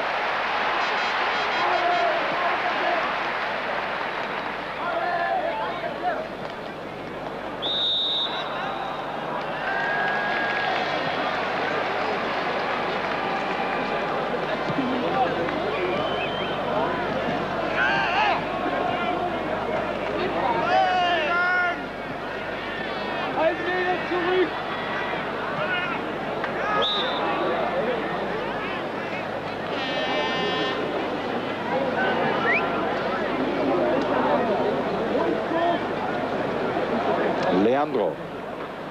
Zico, nochmal die brasilianische Stafette. Einige Male haben sie ja gezeigt, wie so ein Flamenco auf dem Fußballfeld getanzt wird. Adilio. Zico.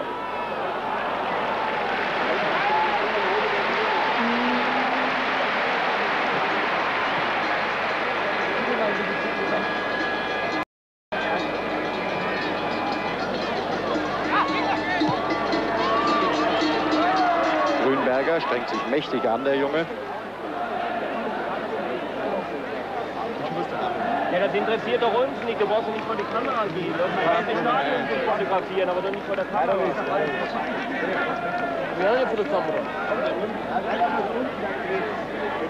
Was auch erstaunlich ist, niemand, soweit ich das überhaupt überblicken kann, vielleicht Einzelne, aber ansonsten keine Gruppen, die hier etwa schon das Stadion verließen. Sie warten wirklich bis zum Ende an diesem schönen Sommerabend, der uns einige wirklich schöne Fußballszenen gebracht hat. Es hätten wohl noch ein paar mehr sein können. Breitner. Oh, schade. Schönes Ding. Es hätten vielleicht noch einige mehr sein können, aber da waren ein paar Kabinettstückchen, ein paar Kombinationen äh, drin, die wirklich Spaß gemacht haben, besonders durch die Brasilianer und ihre frappierende und verblüffende Technik. Fünf Tore haben wir zu sehen bekommen. Vielleicht fällt ja noch eins in der letzten Minute, obwohl ich das für unwahrscheinlich halte. Nachtbei bemüht sich, kommt aber gegen Karl-Heinz Förster nicht mehr zur Schule. Hey, Junge, komm, jetzt setz dich hin. Ja, hier, los, Bärschießen. Und ein Lob für diesen Mann, der den Ball da eben gestoppt hat und jetzt nach vorne spielt. Für Schiedsrichter Schmidhuber aus Ottobrunn bei München, der das Spiel laufen ließ. Und der im richtigen Moment die richtige Elfmeterentscheidung getroffen hat. Dort siehst du, Bobby, ist dein Umsicht.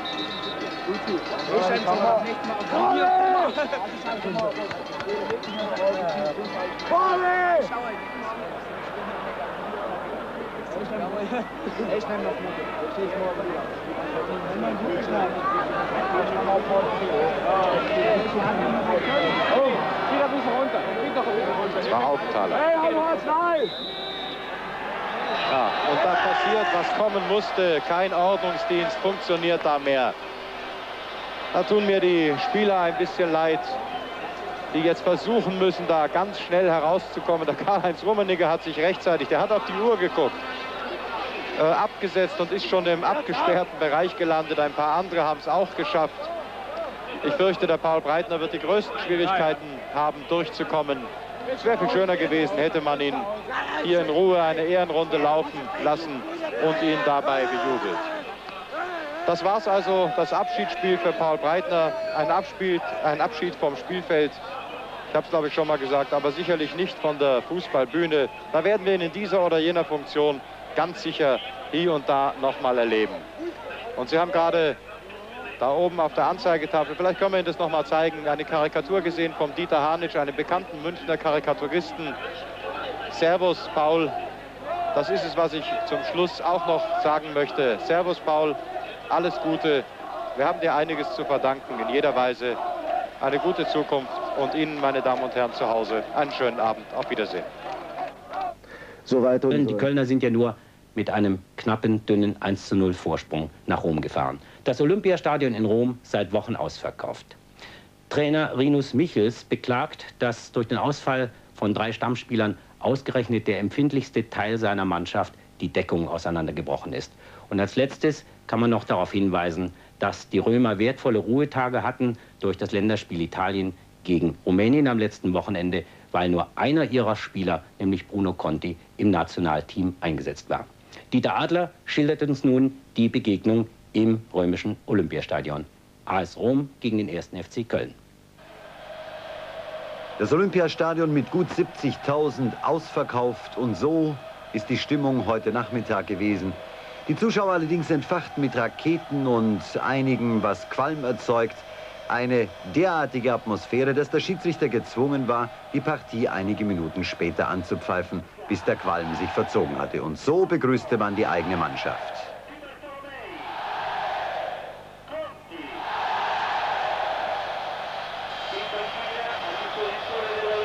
1. FC Köln hatte also zunächst einmal auch gegen die Atmosphäre im Stadion anzurennen. Die Kölner ganz in Weiß, wie schon angedeutet in der Abwehr Umstellungen für den verletzten und am Montag operierten Libero Strack, Kullmann als Libero, dann für den gesperrten Steiner wegen seiner zweiten gelben Karte Bonhoff auf dem Vorstopperposten.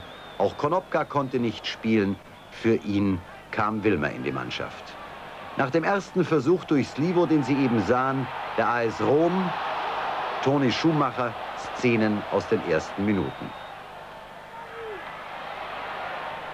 Ancelotti, ein sehr dynamischer Mittelfeldspieler, oft mit im Aufbau zu finden. Kopfball Prusso. Und Trainer Rinus Michels gibt erste Anweisungen an seine Abwehr. Die Kölner in dieser beginnenden Phase des Spiels überhaupt bedacht, Ruhe ins Spiel zu bringen. Aber dann solch ein Fehler von Kohlmann, den Prestin in letzter Sekunde auszubügeln vermag. Ja, die Römer fassen es fast nicht, dass aus dieser Situation kein Tor entstanden ist.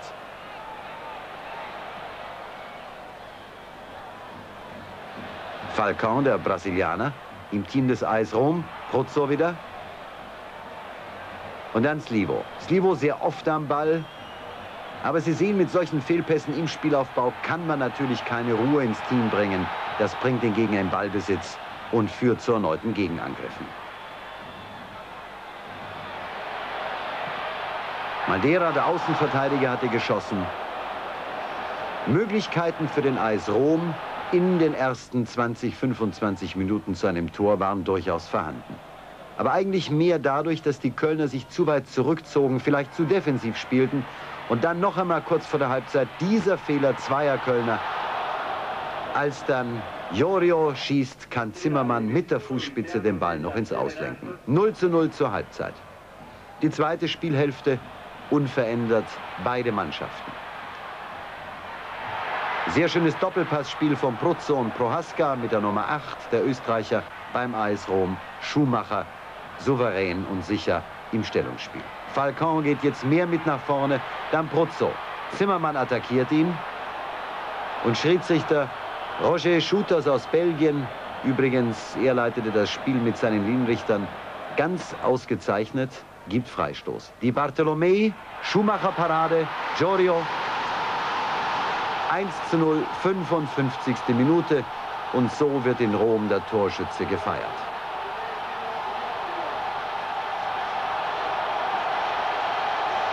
Die Zeitlupenwiederholung wird zeigen, dass dieses Tor eigentlich unnötig war. Die Parade von Schumacher hervorragend, aber Giorgio wird nicht genug markiert, kann unbehindert einköpfen und nun ist alles ausgeglichen. Der 1 zu 0 Vorsprung der Kölner aus dem Hinspiel ist egalisiert. Und die Römer greifen an, Köln in der Defensive nur selten Entlastungsangriffe. Giorgio, der Torschütze, jetzt immer stärker. Zimmermann. Die Abwehr natürlich nicht so stark auf Kölner Seite wie in der gewohnten Formation mit Strack und Steiner vielleicht. Sie sehen Nervosität. Slivo. Litbarski. Der Angriff der Kölner mit Alofs und Litbarski und dem etwas zurückhängend spielenden Fischer heute bis zu diesem Zeitpunkt sicher enttäuschend. Litbarski. Das Spiel im Großen und Ganzen anständig. Wilmer wagt es endlich einmal aus der zweiten Reihe. Torwart Tancredi.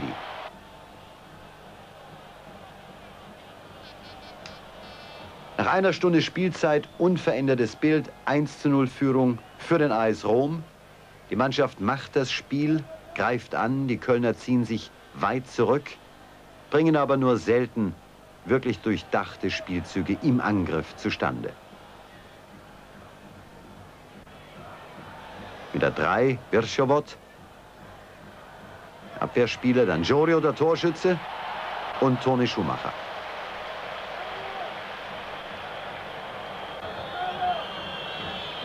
Rainer Bonhoff mit der Nummer 5 in seinem letzten Spiel für den 1. FC Köln. Morgen wird er nach Berlin gehen, künftig für Hertha spielen. Er hat in der Abwehr gegen Pruzzo zu spielen, löste diese Aufgabe recht gut. Bei Vorstößen hat er dann doch gelegentlich Mühe, den Ball zum eigenen Mann zu bringen. Und dann der Konter. Wieder Foulspiel und natürlich Freistoß für die Italiener. Sehr schnell ausgeführt. Mit der Nummer 10, das ist die Bartolomei, der Mannschaftskapitän, Abwehrspiel und dann Conti. Sehr schön, wie er die Flanke hereinzieht. Wieder Giorgio. Nicht genügend markiert. Riesenchance, 65. Spielminute, nur 10 Minuten nach dem 1 zu 0 für den Eis Rom durch den gleichen Spieler, durch Giorgio mit der Nummer 7.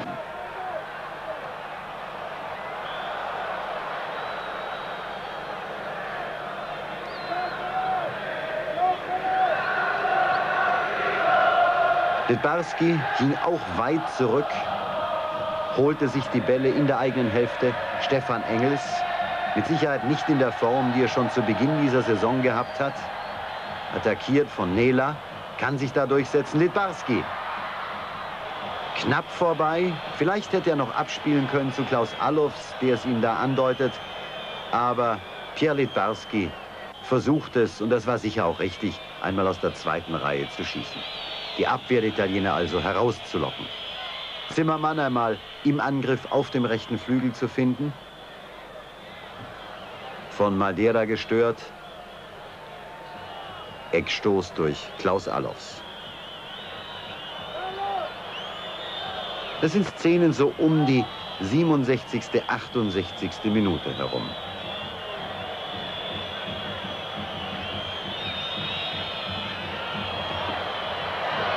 Verwirrung im italienischen Strafraum. Aber dann gut geklärt von Prohaska. Und doch geht der Ball wieder verloren. Also auch Nervosität bei den Römern, dem Tabellenführer der italienischen Liga, Litbarski. Er hat es schwer, da waren sofort zwei Mann bei ihm. die ihm in diesem Fall auch den Ball abjagen. Prohaska, gestört von Bonhoff, der sich gut in Szene setzt hier. Pass auf Litbarski. Aber die Flanke zu dicht vor das Tor, keine Mühe für Tancredi. Dennoch Kölner Elan in dieser Phase. Man versucht nun doch vielleicht zu einem Tor zu kommen. Wilmer. Schlivo. Und Foulspiel von Klaus Allofs, der hier die gelbe Karte erhält. Die einzige im Übrigen im Spiel. Er hatte zuvor schon zwei, dreimal eine leise Ermahnung von Schiedsrichter Shooters erhalten. Die gelbe Karte war schon alles in allem berechtigt. Das ist Falcon, der teuerste Spieler auf der Seite des AS Rom, Brasilianer, einer der besten während der Weltmeisterschaft. Nela, der Abwehrspieler. Dann mit der 10 die Bartolomé, der Abwehrmann und Mannschaftskapitän. Die Abwehr von Zimmermann kommt zu einem Gegenspieler. Möglichkeit für den AS Rom, aber es steht immer noch 1 zu 0. Und das würde bedeuten, wenn es so bleibt, Verlängerung. Falcão geht nun öfter mit nach vorne, der Brasilianer. Sehr schönes Zusammenspiel mit Conti. Wieder Falcão. Conti. Conti ein gefährlicher Schütze. Sie sehen, er hat die rechte Hand verbunden. Das ist eine Verletzung. Er in der zweiten Hälfte wesentlich stärker als in den ersten 45 Minuten. Und Prestin hatte da einige Arbeit als sein Gegenspieler. Da ist er wieder. Und Prestin dabei.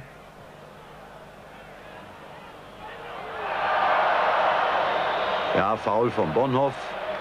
Keine Frage. Freistoß. Ich muss es wiederholen. Schiedsrichter Roger Jutas aus Belgien souverän in dieser Partie.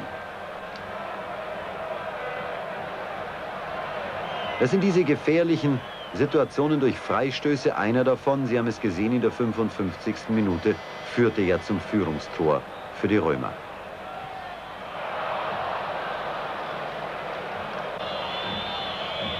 Gut 80 Minuten inzwischen gespielt, immer noch der Spielstand 1 zu 0. Köln hält also das Resultat, trotz aller Bemühungen des AS Rom, ein weiteres Tor zu erzielen und die Chancen waren da. Aber auf der anderen Seite hat auch Köln durchaus Möglichkeiten. Bonhoff um Sekundenbruchteile zu spät. Er bleibt da liegen. Ich glaube nicht, dass er verletzt war. Es schien mir eher, dass er einem einer Abseitsposition entgehen wollte.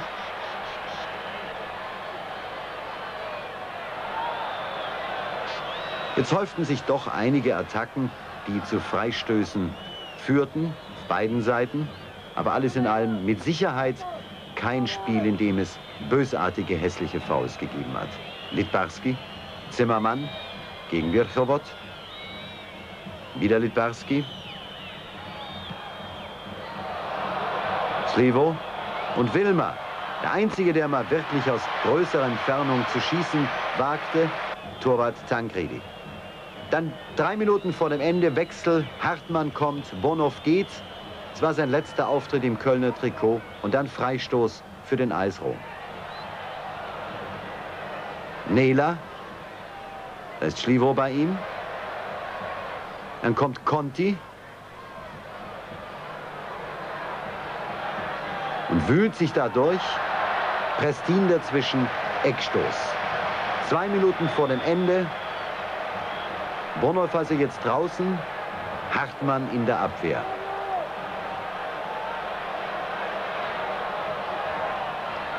Contis Eckball, Falcao.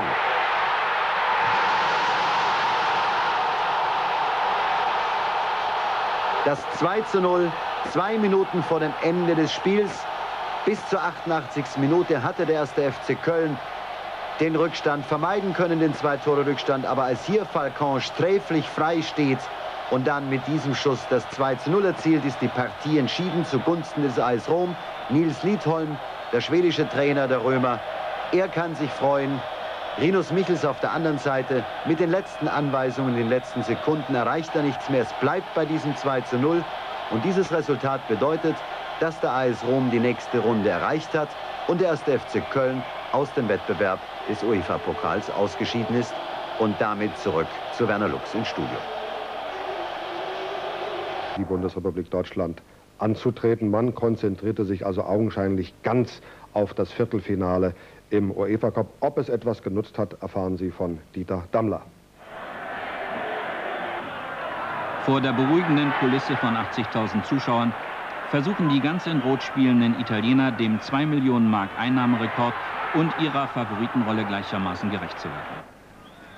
Die Benfica-Stars, die bekanntlich gegen die Bundesrepublik Deutschland nicht mitgespielt hatten, wirkten ausgeruht und ließen sich auch hier in der hektischen Atmosphäre des römischen Olympiastadions nicht einschüchtern. Nach diesem wirkungslosen Freistoß der Portugiesen folgte ein schneller Angriff über den rechten Flügel. Mit diesem Tor durch den für Benfica spielenden Jugoslawen Zoran Filopovic gingen die Gäste nach 40 Minuten überraschend in Führung. Die Wiederholung des Treffers in Zeitlupe. Die Attacken des AS Rom führen in den verbleibenden fünf Minuten bis zur Halbzeit nicht zum Erfolg. Die Gastgeber wirken fahrig und lassen zunehmend weniger Sinn für gemeinschaftliche Aktionen erkennen. Mit einem für die 80.000 Zuschauer enttäuschenden 0 zu 1 wechselt man die Seiten.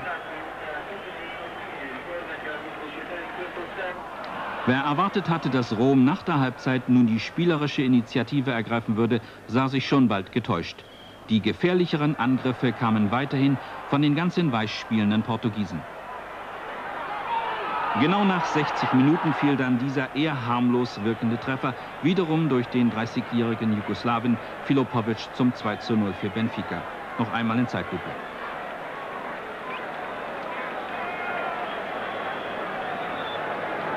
Eine Blamage schien sich damit für den Spitzenreiter der ersten italienischen Division abzuzeichnen, einem Verein, der von dem Schweden Nils Liedholm trainiert wird und im Viertelfinale den ersten FC Köln ausgeschaltet hatte.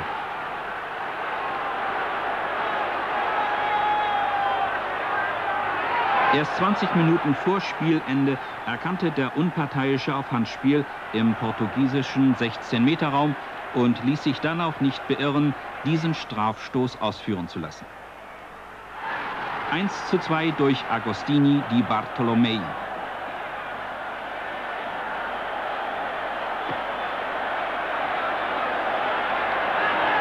Diesem Anschlusstreffer folgten stürmische Attacken des römischen Millionensturms mit dem Brasilianer Falcao und dem Österreicher Prohaska. Doch immer wieder konnten sich die bedrängten Portugiesen mit Kontern Erholungspausen verschaffen.